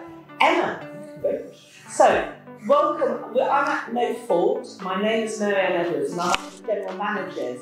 I've been here now for about two years and the challenges we've had is we started on the first day of lockdown and this wonderful building Victoria Fort, uh, Fort. In lockdown, it was closed and the damp really affected it. You can see how the walls are peeling and how it is looking really tired. We want to do a display, but we can't. We can't put in a display because of the and might be damaged.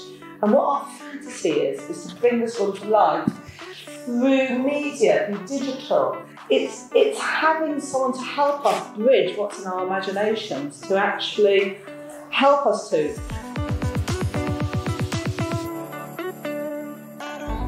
We are doing a customer service assignment for our college and um, in our assignment we need to see what the Nothe Fort do and how we think they could improve and what they can bring to their attraction to bring more people. And we've just been walking through the well just now we've been walking through the bunker and seeing what displays they have. We've also been introduced here. We spoke to the manager? Yeah, three managers. We spoke to three managers on just how they run their organisation.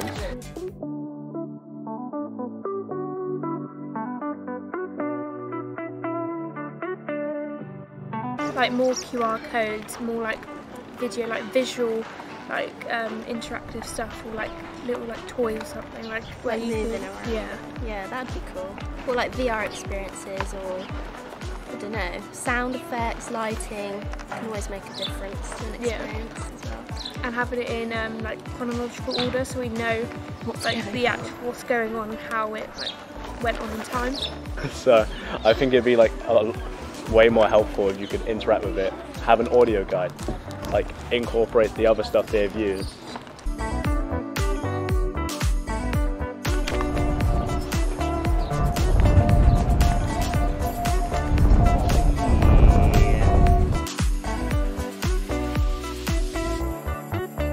I think that their target market they aren't hitting. Um, I believe that their target market that they are hitting is just elderly and um, just people that are interested in history. Um, but I think to widen the target market, they could include more like interactive um, things in the exhibits and more technology to um, bring down the target market for younger people um, so they can understand more and it's more interactive and more entertaining for them. Yeah, because I feel like um, we expect like technology and more interactive stuff during the tour, whereas it, it's all just signage.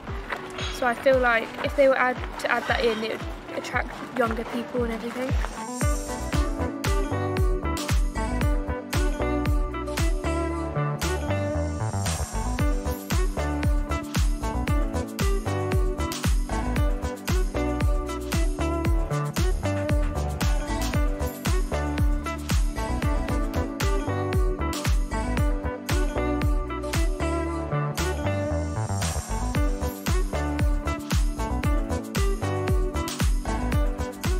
Oh, the corgis, yeah. Corgi there. It's the water So, um, for the, is it Platinum Jub Jubilee? Yeah, I think For so. the Queen's Platinum Jubilee, they've been, they've done this interactive thing where you, it's a bit fun, where you can find the corgis. Corgi, two corgis, corgi there.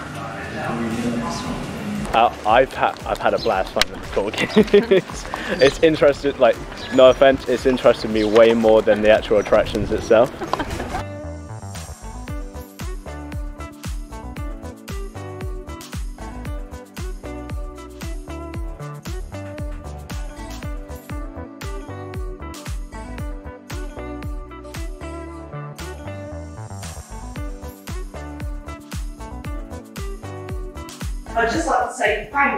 To College.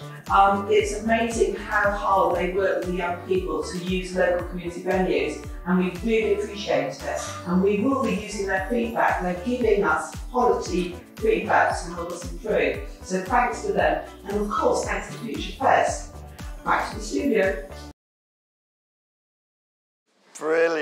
Brilliant. So just finishing there with Marianne from uh, Nothe Fort, who's in the audience, is in the audience. So I think uh, around the table here, that was the first time some of you had seen the video, and uh, uh, Jacob, you were hoping that some of it had been edited out, perhaps. but the team here are available for autographs uh, after, after this production. So I've also been joined on the table. So we've got, we've got uh, students, we've got Tonya from Weymouth College, we've got John Bird here, who heads up Dorset Council's uh, tourist team, tourism team, uh, who are going to be very interested in this conversation and your views. And we're also joined by Dr. Phil Wilkinson from Bournemouth University, who, uh, so uh, Phil, is that you sort of connect technology? So the technology we're going to be talking about, that's your, your bag, isn't it? Uh, yes, that is my bag. Um, so I teach uh, critical technology studies, which means thinking about technology in context. So, uh, as Wayne mentioned earlier, to try and make us not get so hung up on technology and start thinking about, you know, how do we use it, uh, what is behind it, what are the implications of it, like is it accessible, what infrastructure we need, and, and that kind of thing. Um, so I was actually there filming, and I did actually edit the video for this, so very sorry for doing that to you. Uh, and I hosted the students on campus as well to have a follow-up where I went over emergent technologies like VR, AR, gamification, that kind of thing, and really kind of drilling into the students to think about less about innovative technologies, but more about innovative application of technologies old and new. And I was actually super, super thrilled and really impressed by, by the students and the ideas they came up with because they had a really, really good you know, strategic sense of what technologies can be used. So, so should we have a listen to what the students uh, did come up with? And then, Phil, we will come back to you at the end, I think, because you've probably got some views on that question we had earlier about education uh, in, uh, and uh, the like. So, Jacob, you've got the, uh, the star spot. Uh, okay. Do wanna... Oh, do you want to do it in order? Should we do yeah, it in order? So, we have a... We've come up with um, three main recommendations, and this is not just from our um, survey, but also um, since we went to Bournemouth University and had a proper afternoon learning with Phil. Um, so we've decided on three recommendations, and then we've got a wish list for um, oh, the no for John. For, no for and for John. Yes. So I'm going to go over to the students. So if I can just go to Chloe first. So that's recommendation number one.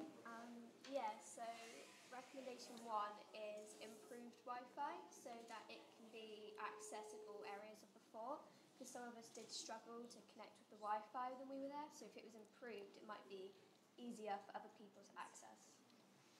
And that leads on to our second and third re uh, recommendations because what we felt with any technology, um, it needs good, strong Wi-Fi throughout all areas of the attraction. Um, so our second recommendation was So the second recommendation was to use QR codes in selected display rooms, and it would link to online timed quiz and games. And we learnt this from Phil at Bournemouth University about gamification and how it engages the younger audience. So the QR codes would require visitors to find clues or information in each room, and it'd be timed, and the scores would be saved and leaderboarded, so prizes could be won each day. And the benefits of this would it wouldn't require any changes to the room, so more people would be engaged and it would enhance the customer experience.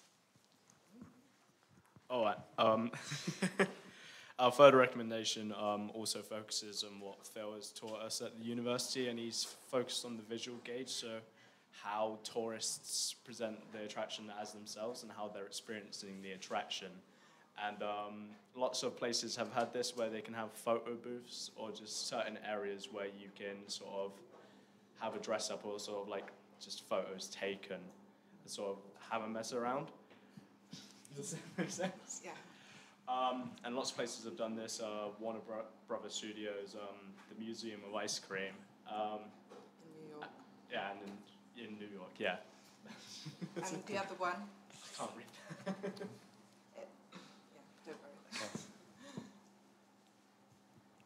And the wish list, there are three things on here. The first one was to um, improve the ghost tunnel because it's currently just a dark corridor. So we suggested adding scary noises, dry ice to create a mist effect or have projections on the wall of ghosts.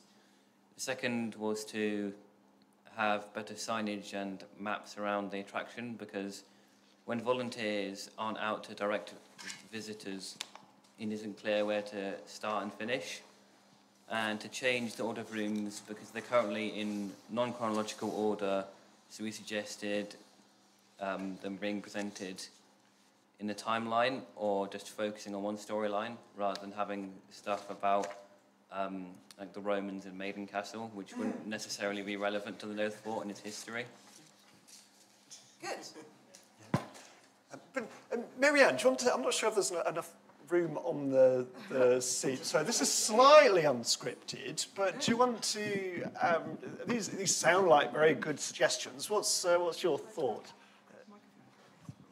Um, can I thank everyone for the, for the hard work of Weymouth College? That's absolutely fantastic. We're making notes, but could you pass them over to us? I will. I've got Um, some for you. No thought. Today we've been focusing on the beachfront and on the, the tourists coming to the beach. But you know, if it's windy or if it's rainy, we don't want people to get in their cars and drive over to Dorchester or Monkey World or the Tank Museum. We want to keep the money in the town. And Nothe Fort very clearly understands that we're a visitor attraction, we need to survive, but we need to support the town. And it's that working together that is so important. Um, the fort, as I said, has a lot of damp, and we have put in a large grant application. We're hoping we're through to the second round to actually resolve our dank problems, and then we can move forward with our displays. And actually, what you've said is, is brilliant. It's what we thought, it's our worst fears, but you've articulated it. Um, and we have a new young team that we have just recruited for our displays and for our events, and we shall take it forward. But we'd like to do it in partnership with you. We, we don't want to translate your ideas, we'd like to deliver your ideas. So thank you very much, Weymouth College, for that. And Bournemouth University, if I could pitch also to work with you, that would be amazing um, to be able to deliver it. Um, we think easily. We've won the best visitor attraction in England because of our community and because of the customer service we do. But we are not a first class visitor attraction. When you come there, it is text based. We could easily and quickly transform, transform it through technology to make it so much more fun and accessible. Weymouth deserves first class quality experiences, and we want in the next couple of years to actually make that something that Weymouth are proud of, rather than them all being in Dorch or around the, the county. Brilliant. G- good pitch, taking the opportunity there. Well done. so, um, if, I- if, I, if only we had the council's lead on tourism available. John. Thank you. Um, it was great to hear those ideas. I was pleased to hear that they were not only about enhancing the visitor experience when the visitors are actually at the fort, but also looking to spread the word, um, especially the idea about the photo booths and things like that. If the visitors themselves are providing publicity for future visitors, that's not only a great way to save some money in advertising, but also there is a lot of credibility when real visitors are giving real opinions about the site. I loved as well that all of them were very practical measures. None of them needed millions and millions of pounds to deliver, um, except possibly the Wi-Fi, because I'm not, I'm, not an, I'm not an expert in forts, but they tend to have fairly thick walls. Wi-Fi doesn't like thick walls, generally speaking, but there's, there's things we can do about that. It was also very interesting to see uh, how digital wasn't being treated on its own, but it was about how people connect with digital and digital connects with people. Um, and I'm always just blown away how students at Further Education College today are so much more productive than I was when I was there.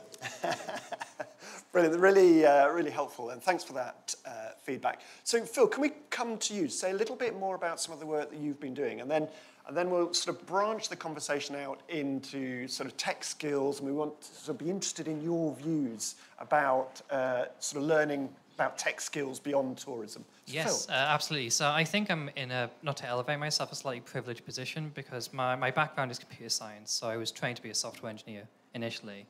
And then I kind of transitioned in, into education, both being an educator and also researching education. So the past like few years, I've actually worked across Dorset in various different community clubs, community spaces, libraries, schools, colleges, from Portland all the way to kind of Southport. Uh, and one of the things I keep hearing from all of those different spaces is they want to be delivering these kind of skills. They want to be running coding clubs and teaching sessions, and colleges are saying this as well. So there's this kind of like tragic irony in how we talk about digital skills sometimes, where we say it's a skill shortage and it's really affecting employers. But schools, libraries, colleges are having the same skill shortage on their end as well. So it's almost like collectively we're all kind of facing a skill shortage. Um, and I think the, the one reason I wanted to talk about this now is I think there's a really good opportunity for kind of bringing those skills together. So just like Nothe Fort has requested the kind of expertise of, of the young students from Weymouth College, how can we translate that going forward? So we have the coding day, which is fantastic as a teaser for like, you know, here's coding as an introduction, but can we get those devs who volunteered to commit for, you know, one day a month or to make it more sustainable?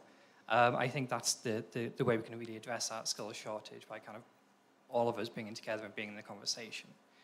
Yeah, good, good. So let's, uh, can I hand over to our students? Jacob, can I come to you? Yeah, so that's fine. Do you want, um, just a, that general sense, so one that you probably heard from the audience earlier, that, that, that sense of how do we develop skills locally, encourage uh, students to stay rather than perhaps leave the brain drain, that um, uh, Wayne Hemingway talked about. What's your, what's your sense of that? Where, how, how, and maybe a personal story if you've got one. Well, I think teaching technology, you can always start that from a very young age and you can sort of integrate what children are interested in at a young age. And I remember from a very young age, um, they used to start a game, they got us started with like this really simple coding. So it's not like all the written code is you put these blocks down and then this thing the little cartoon character will do a thing. And that sort of it makes it makes children interested and it sort of it builds that creativity as well because the blocks the blocks are limitless. You can do anything. And then when you grow up, if you carry on with this interest, you can go into further coding, which I tried to, and it's a bit boring. but um, no, but if you ge- if they genuinely develop a passion over it, it does create more opportunities for them in their life. I think. Brilliant. Phil, can I come back to you? Because um, one of the phrases that was used was gamification. And I, and I think Jacob's just sort of touched on that in terms of his own kind of development. Can you just explain a little bit more about gamification? Um, so the, the, the corgis in the video is a really good example of gamification. It is all about gamifying, adding a kind of playful, fun layer to an experience. Whether that's something like as simple as you buy nine copies, you get the 10th free, and there's some kind of point system or trophy system, or it's just kind of making it a kind of fun, engaging, narrative-driven experience. So okay. Making it, it, fun. Yeah. Is that something you can relate to then, Jacob? Obviously from the video, yes. I don't want to say the attraction wasn't boring. I, I felt really bad saying that. It, it wasn't boring. I was interested in some of the attraction, but my more childlike nature did take over me, and I was looking for corgis half the time. Yeah. But I was reading through the information, and a lot of the information was very interesting. Um, but no, I, really did enjoy the attraction, and I think the inclusion of that it hooks children and it makes them want to go around the attraction more. Just these little things that children are attracted to it. It brings more, will bring families to the attraction. It Yeah. just makes it fun. Okay, brilliant. So um, we've got the opportunity for questions from the audience while we've got a panel of uh, students and from education as well. Um, while the audience think of their questions, can I uh, come to you, Sky? Um, so, so one of the things we're talking about, so what, your personal future, do you see there are opportunities? Are, are you sort of Weymouth local? Do you sort of live in this, uh, this area? What, what do you think the opportunities are? How do you imagine that, that your uh, sort of future job opportunities around here, for example? I think that because of we're younger generation, um, we've grown up with technology, so we're kind of used to it and we like it and everything. And back to Jacob, when you're a child, they teach you in, in a fun way, but then when you hit secondary school, it's all the important and serious stuff, which makes it seem boring, like Jacob said. So maybe it turns people away from those kind of jobs. So I don't think personally I'd go into those types of jobs because Yeah. I don't understand it. Yeah. But I think if we had more learning opportunities and everything, it would maybe create more jobs for us. Okay, so there's something about the way that technology is taught. Yeah. Phil, can I come to you on, on that? If, it, if, it's, if it's great at primary school, not so good at secondary school, by the time they get to university, how's it taught? So this is the, the, the, kind of funny situation, and, some of the, the devs that volunteered, the developers who volunteered for the coding day shared their similar experiences where this, the stuff I learned at university is what is being taught to students at 10, 12, 13 years old, which is really intimidating for me, but fantastic for them. Um, I think the part of the challenge is, um, again, if you want to teach specialist technical skills, you need educational specialists to do it, and there's a bit of a, um, um, a- lack of them. And the other thing as well is, um, yeah, it is sometimes quite dry and quite boring, and sometimes it's quite hard to make that fun. And also, uh, if we keep talking about digital skills and coding and higher level digital skills, we don't actually need everyone to learn those skills. Not everyone needs to be a developer, not everyone needs to be a coder. There's a, a baseline level of skill we kind of need people to use, which is, you know, using Microsoft Office and maintaining a computer, but not everyone needs to be developers, even though we'd like them to be more. Okay, so that's really helpful. Let's just sort of bring those themes together then. So what we've seen is a real practical application of how technology could be used to uh, enhance uh, an experience that dates back hundreds of years uh, the No Thought Fort.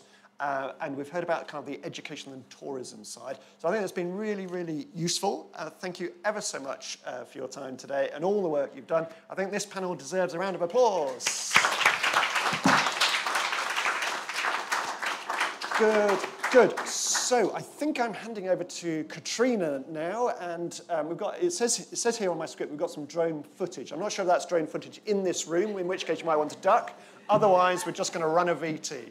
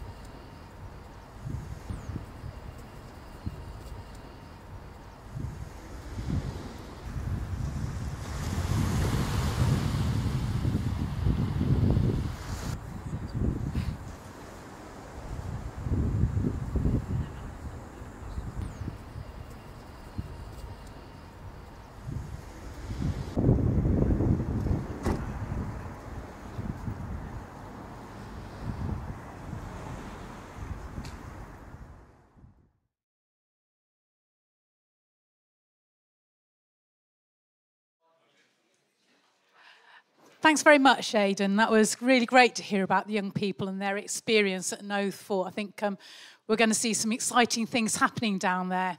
Well, we've heard a lot about digital technology today. Obviously, Festival of the Future, you'd expect to. Um, but not everybody in our community is on that digital journey yet. It may be that they don't have the device they need, and we've been working hard to get digital devices out into the community to people that need it that might not otherwise afford it. They might lack connectivity, and again, we've been working hard to make sure that Dorset, as a rural county, has really good connectivity. But equally, we often find that people lack skills or confidence to get online. And um, this is where one of our new schemes, Embedded Digital Champions, you can see Digital Norma here. There's the email if you want to find out more. So we've got a scheme of embedded digital champions working alongside the community. This is frontline staff who are obviously within Dorset Council, but equally Bournemouth, Christchurch and Poole, BCP Council, and our partner organisations. So we have people in the voluntary sector, people in housing associations, and people who are also our health colleagues. So I'm delighted to welcome today Jim and Sue, who are two of these people. They're leading a group in Weymouth. Would you like to introduce yourselves?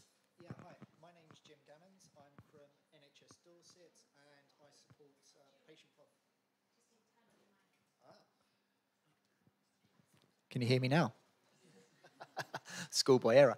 I'm Jim Gammons from NHS Dorset. I, uh, I support patient participation groups in the county and I'm trained as an embedded digital champion.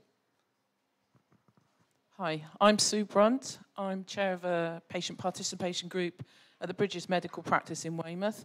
I'm a volunteer myself and I actually coordinate and lead the digital volunteers throughout the Weymouth practices. So you've got quite a large group of um, volunteers here in Weymouth. Um, could you tell us a bit more about the problem you were trying to solve and how does it work? What difference does it make to the patients that you work with? Yeah, absolutely. It's, it's a really good question. Um, the, just to give you a bit of background, the patient participation groups are groups of volunteers who are connected to their local GP practice uh, to act as the voice of the patient, but also to help and support the practice and fellow, fellow patients. At the start of the COVID crisis, uh, GP practices changed the way that they operated and, how patients could actually access the services there. The PPGs in Weymouth and Portland um, got quite concerned about the maybe the way that people were actually accessing the GP practice. It wasn't as simple and straightforward for people especially those who are maybe digitally disadvantaged. But we didn't actually have any information or data about, about that. So what they set about doing is I helped the PPGs and the GP practice to create a survey that went out to uh, as many residents as we could in Weymouth and Portland to actually understand them, um, who they were, what they did, um, and, and, how they accessed their their health and their their GPs um, but also to look further beyond that to understand their digital capabilities as well. So this is looking at things like what digital devices do they have? Do they have access to the internet? Do they have access to broadband? If they do access the internet, what are their habits? What do they normally do? Do they use social media? Do they keep in touch with friends and family? Do they use it to look at the news? And and more importantly as well is to actually look at um, do they actually access and manage their health online and I'll hand over to.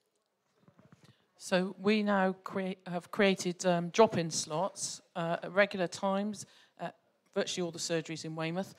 We're, we're one surgery we're not open at yet. We're slightly short of digital volunteers. So if anybody wants to come on board, please let us know. Um, and the, uh, the patients bring along their tablets. We get them signed up for the online services there and then and show them, show them around the services and the apps that are involved. And if I can just roll back a little bit from that, before we, before we created the digital volunteers, um, one of the things we've got really good in Dorset is we're, we're really good in leading the way in digital technologies. So there, uh, there are things that we use, the ORCHA app library that we encourage people to use, but also we have uh, digital services at home where uh, people can actually access and monitor and uh, keep control of things like their blood pressure, COPD, and diabetes. So that um, through through the Embedded Digital Champions program, um, we we actually wanted to get together and we we found from the survey that, that we did that there there were a lot of people who access the internet, but not a huge amount of people that actually used it to manage their health online. So that's where we got in touch with Dorset Council because we had a good relationship um, with them and we, uh, we knew about the Digital Champions and the Embedded Digital Champions program so that we actually worked with them so that we could actually create a bespoke training package so that it would uh, it would uh, it would take them through there so they could they could understand the basics of of, of those sorts of things but also uh, it, it could it could be with a health specific um, focus on it so that the the digital volunteers as Sue had mentioned are, are, are actually ones that we could actually upskill and so they, they could actually be placed in GP practices. We do actually work in quite close contact as well with your digital champions so that we're not we're not IT experts by any means. I'm certainly not. Um, but we have a knowledge of the health apps and the health online systems. If we get problems more IT based, then we liaise with the digital champions on that one and, and direct the patients to them.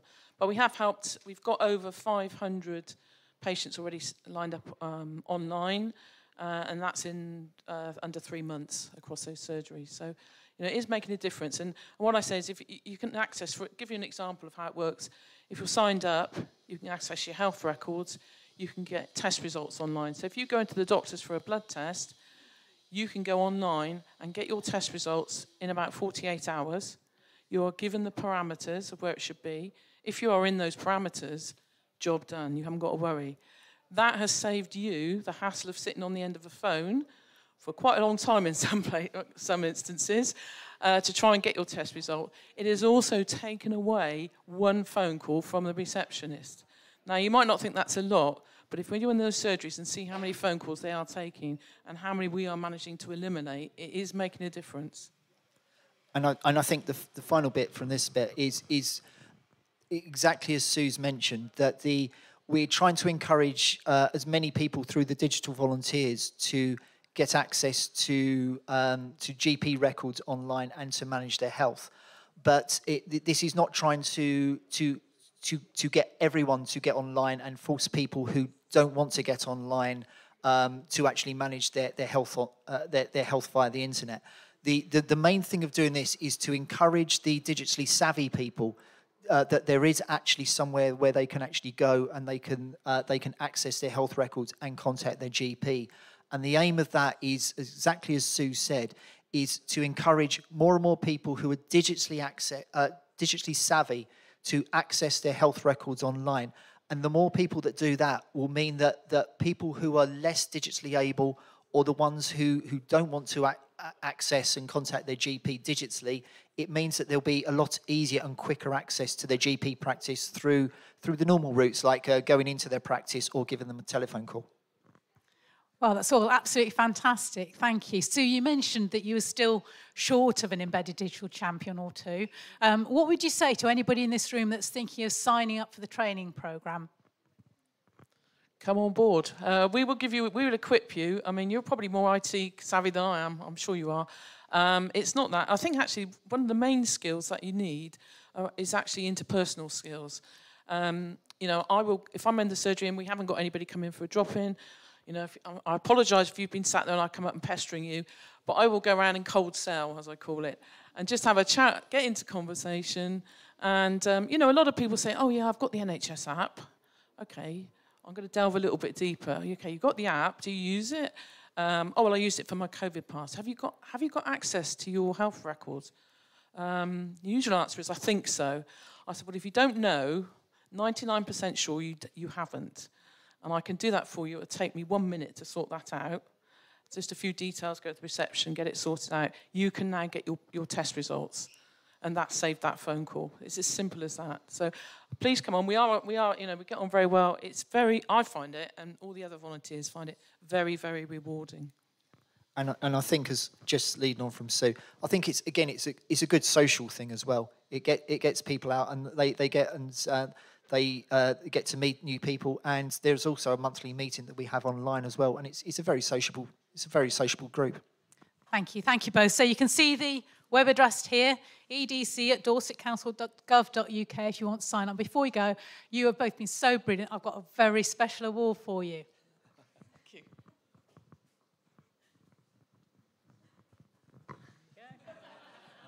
A pair of matching digital Norma mugs, very sought after. So thank you very much, everyone.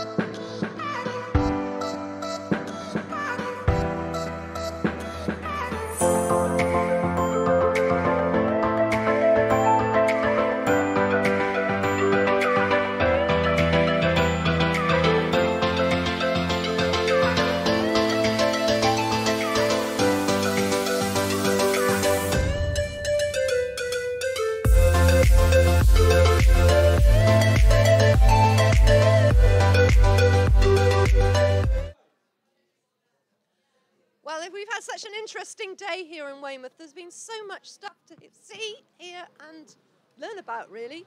And um, I'd like to just reflect on the sort of things we've been doing in the last few days. So over to you. I'd like to introduce Matt Prosser, who's our chief executive. Come down, join us. Running a bit late, Matt, though. I was. I'm re- really sorry about that, Jill. Um, I've been. Uh, I've just come back from Birmingham today, this morning, especially to be here. So I'm going to find out what I've missed. But I'm going to. Um, I'm going to talk to Councillor Tony Ferrari. You're the local councillor for Littlemoor and Preston Ward of Weymouth, as well as being the portfolio holder for economic growth, assets, and property. What struck you the most about today? Well, there was some great technology stuff, as you'd expect today, and the smart place um, tools are really give you a very different perspective on how you can look at communities and their needs. Um, but none of that matters unless you've got people who can work with the technology and the tools. So the other side of this is how do we engage with the communities, developing leading edge skills, but also reaching out, making the IT engagement deeper and broader with the um, uh, mentor in the the mentoring scheme. So really interesting set of technology and people interaction going on today. That's great. Thank you very much, Tony. I totally agree with you. I think it's also about how we work with partners, isn't it? And one of the things I know that was mentioned in Wayne's uh, presentation was Dorset Council working with the town council here. And I know that Councillor Ray Bryan, who has that portfolio at Dorset Council, has been working with um, Weymouth Town Council and the, in particular David Harris, the leader, and that we're very keen to be working as councils together to ensure that we have a thriving community and this digital agenda is rolled out here in Weymouth. Brilliant. Thanks, Jill. Aidan, I think you're going to. Uh, yeah, I've, uh, thanks, Matt. I've had a, a really interesting day. We've met some really fascinating people. Some the students were the highlight for me uh, as they talked about how they could. Um, the students talked about how they could uh, use technology to enhance the experience of visiting the, the Nothe Fort. So it's been really, really, really good. So uh, is this an opportunity to say a few thank yous, do you think, Jills? Because uh, so much work has gone in the last uh, five days of the Festival of the Future, and uh, our, team, our colleagues at uh, Dorset Council, and so many, many partners have done uh, an excellent uh, effort. In particular, as the finance director, it's all been at no cost because our generous sponsors have covered the cost of uh, organising these events. So really grateful for that. But I think you've got a few thank yous to say, Jill. I have. Um, I've got a few thank yous, uh, particularly uh, for the team, our digital team, for, for Penny, for Lisa, there she is, for Katrina, for the way she's working, for all of the people on the cameras and all the people that you don't see that's happening behind. I'd just like to have a little bit of a think about what we've done during the last week. And I know both you and I, Matt, were at the at the Kingston Maurward event. We were just on Monday. Feels like feels like such a long time ago for me, me for that. But uh, the Monday, Kingston Maurward, we had a fabulous event there. Autonomous tractors. Uh, that was quite a scary moment for me. I'm talking, and this tractor's just appearing from behind me without anybody driving it. Methane. Driven tractors. That's quite an interesting one. But my, my highlight was talking to some of the students and listening to them talk about tech for good. Not afraid about the technology coming into the agricultural market, but actually thinking about how it's changed in the last 10 years, how it's going to change in their career over the next 10 to 20 years, uh, and making a real difference to their life in farming. Phil, what about Tuesday? Uh, yeah, so, and Chris. So on Tuesday, we were at the uh, Family Hub, the new Family Hub in Ferndown, the centre. Yeah, we're good. Yeah, it's the new Family Hub, the centre in Ferndown, where Chris was introducing some cool new sustainability projects there. Yeah, and uh, Phil was doing an amazing digital inclusion event for young people, doing some stop motion animation. It was uh, a lot of fun. It was a crazy amount of fun. And uh, yeah, we also learned on Tuesday about the uh, what happened on the coding day as well. Super. And, yeah. So Wednesday, Wednesday at the Innovation Park, um, we were looking at technology in business and what the council has done is brought together a digital infrastructure to um, um, uh, to allow tech businesses to exploit the technology. And what that's done is created a huge number of jobs and opportunities for young people across Dorset to work in leading edge, innovative jobs. So tremendous boost for Dorset's industry and tremendous boost for careers of people across Dorset. Brilliant. So what about Thursday? Great Okay, stuff. Got the mic now. so Thursday was in Bridport, and on Thursday we were looking at inclusion, how we could help people to be online. Some of the digital advances that there are to help people living at home longer with uh, adult social care needs. And actually, it was about how we could demystify some of the digital stuff, just that it wasn't that difficult, that you could actually do it. And I think that that really came across really well on that day. And then today, well, we've had so much stuff. I agree with you, Aidan. The young people really were the absolutely made the day, didn't they? The way that they've been involved in it and the sort of things that they see as a future. All of this moves so fast. I said this yesterday. You, what we used to do with a mobile phone five years ago and what we do with it today has moved in such a distance then, and it's and it's going to move in light years fast speed. The changes that are going to happen in digital in the next five to ten years, and we need to be at the forefront of them because that's how we help and support our communities and the people that live in them. So yeah, uh, uh, quite agree. Uh, quite agree there, and and it's a particular thanks to to the people that helped made it happen today. So uh, Sue, Jim, Tonya, Phil, Chris, uh, Paul. We met them throughout the course of this morning, and it's been really, really uh, helpful. We couldn't have done it without them. No, definitely not. So this is us saying goodbye. I think. Are we all ready? We're going away. Bye. Bye. See you next year.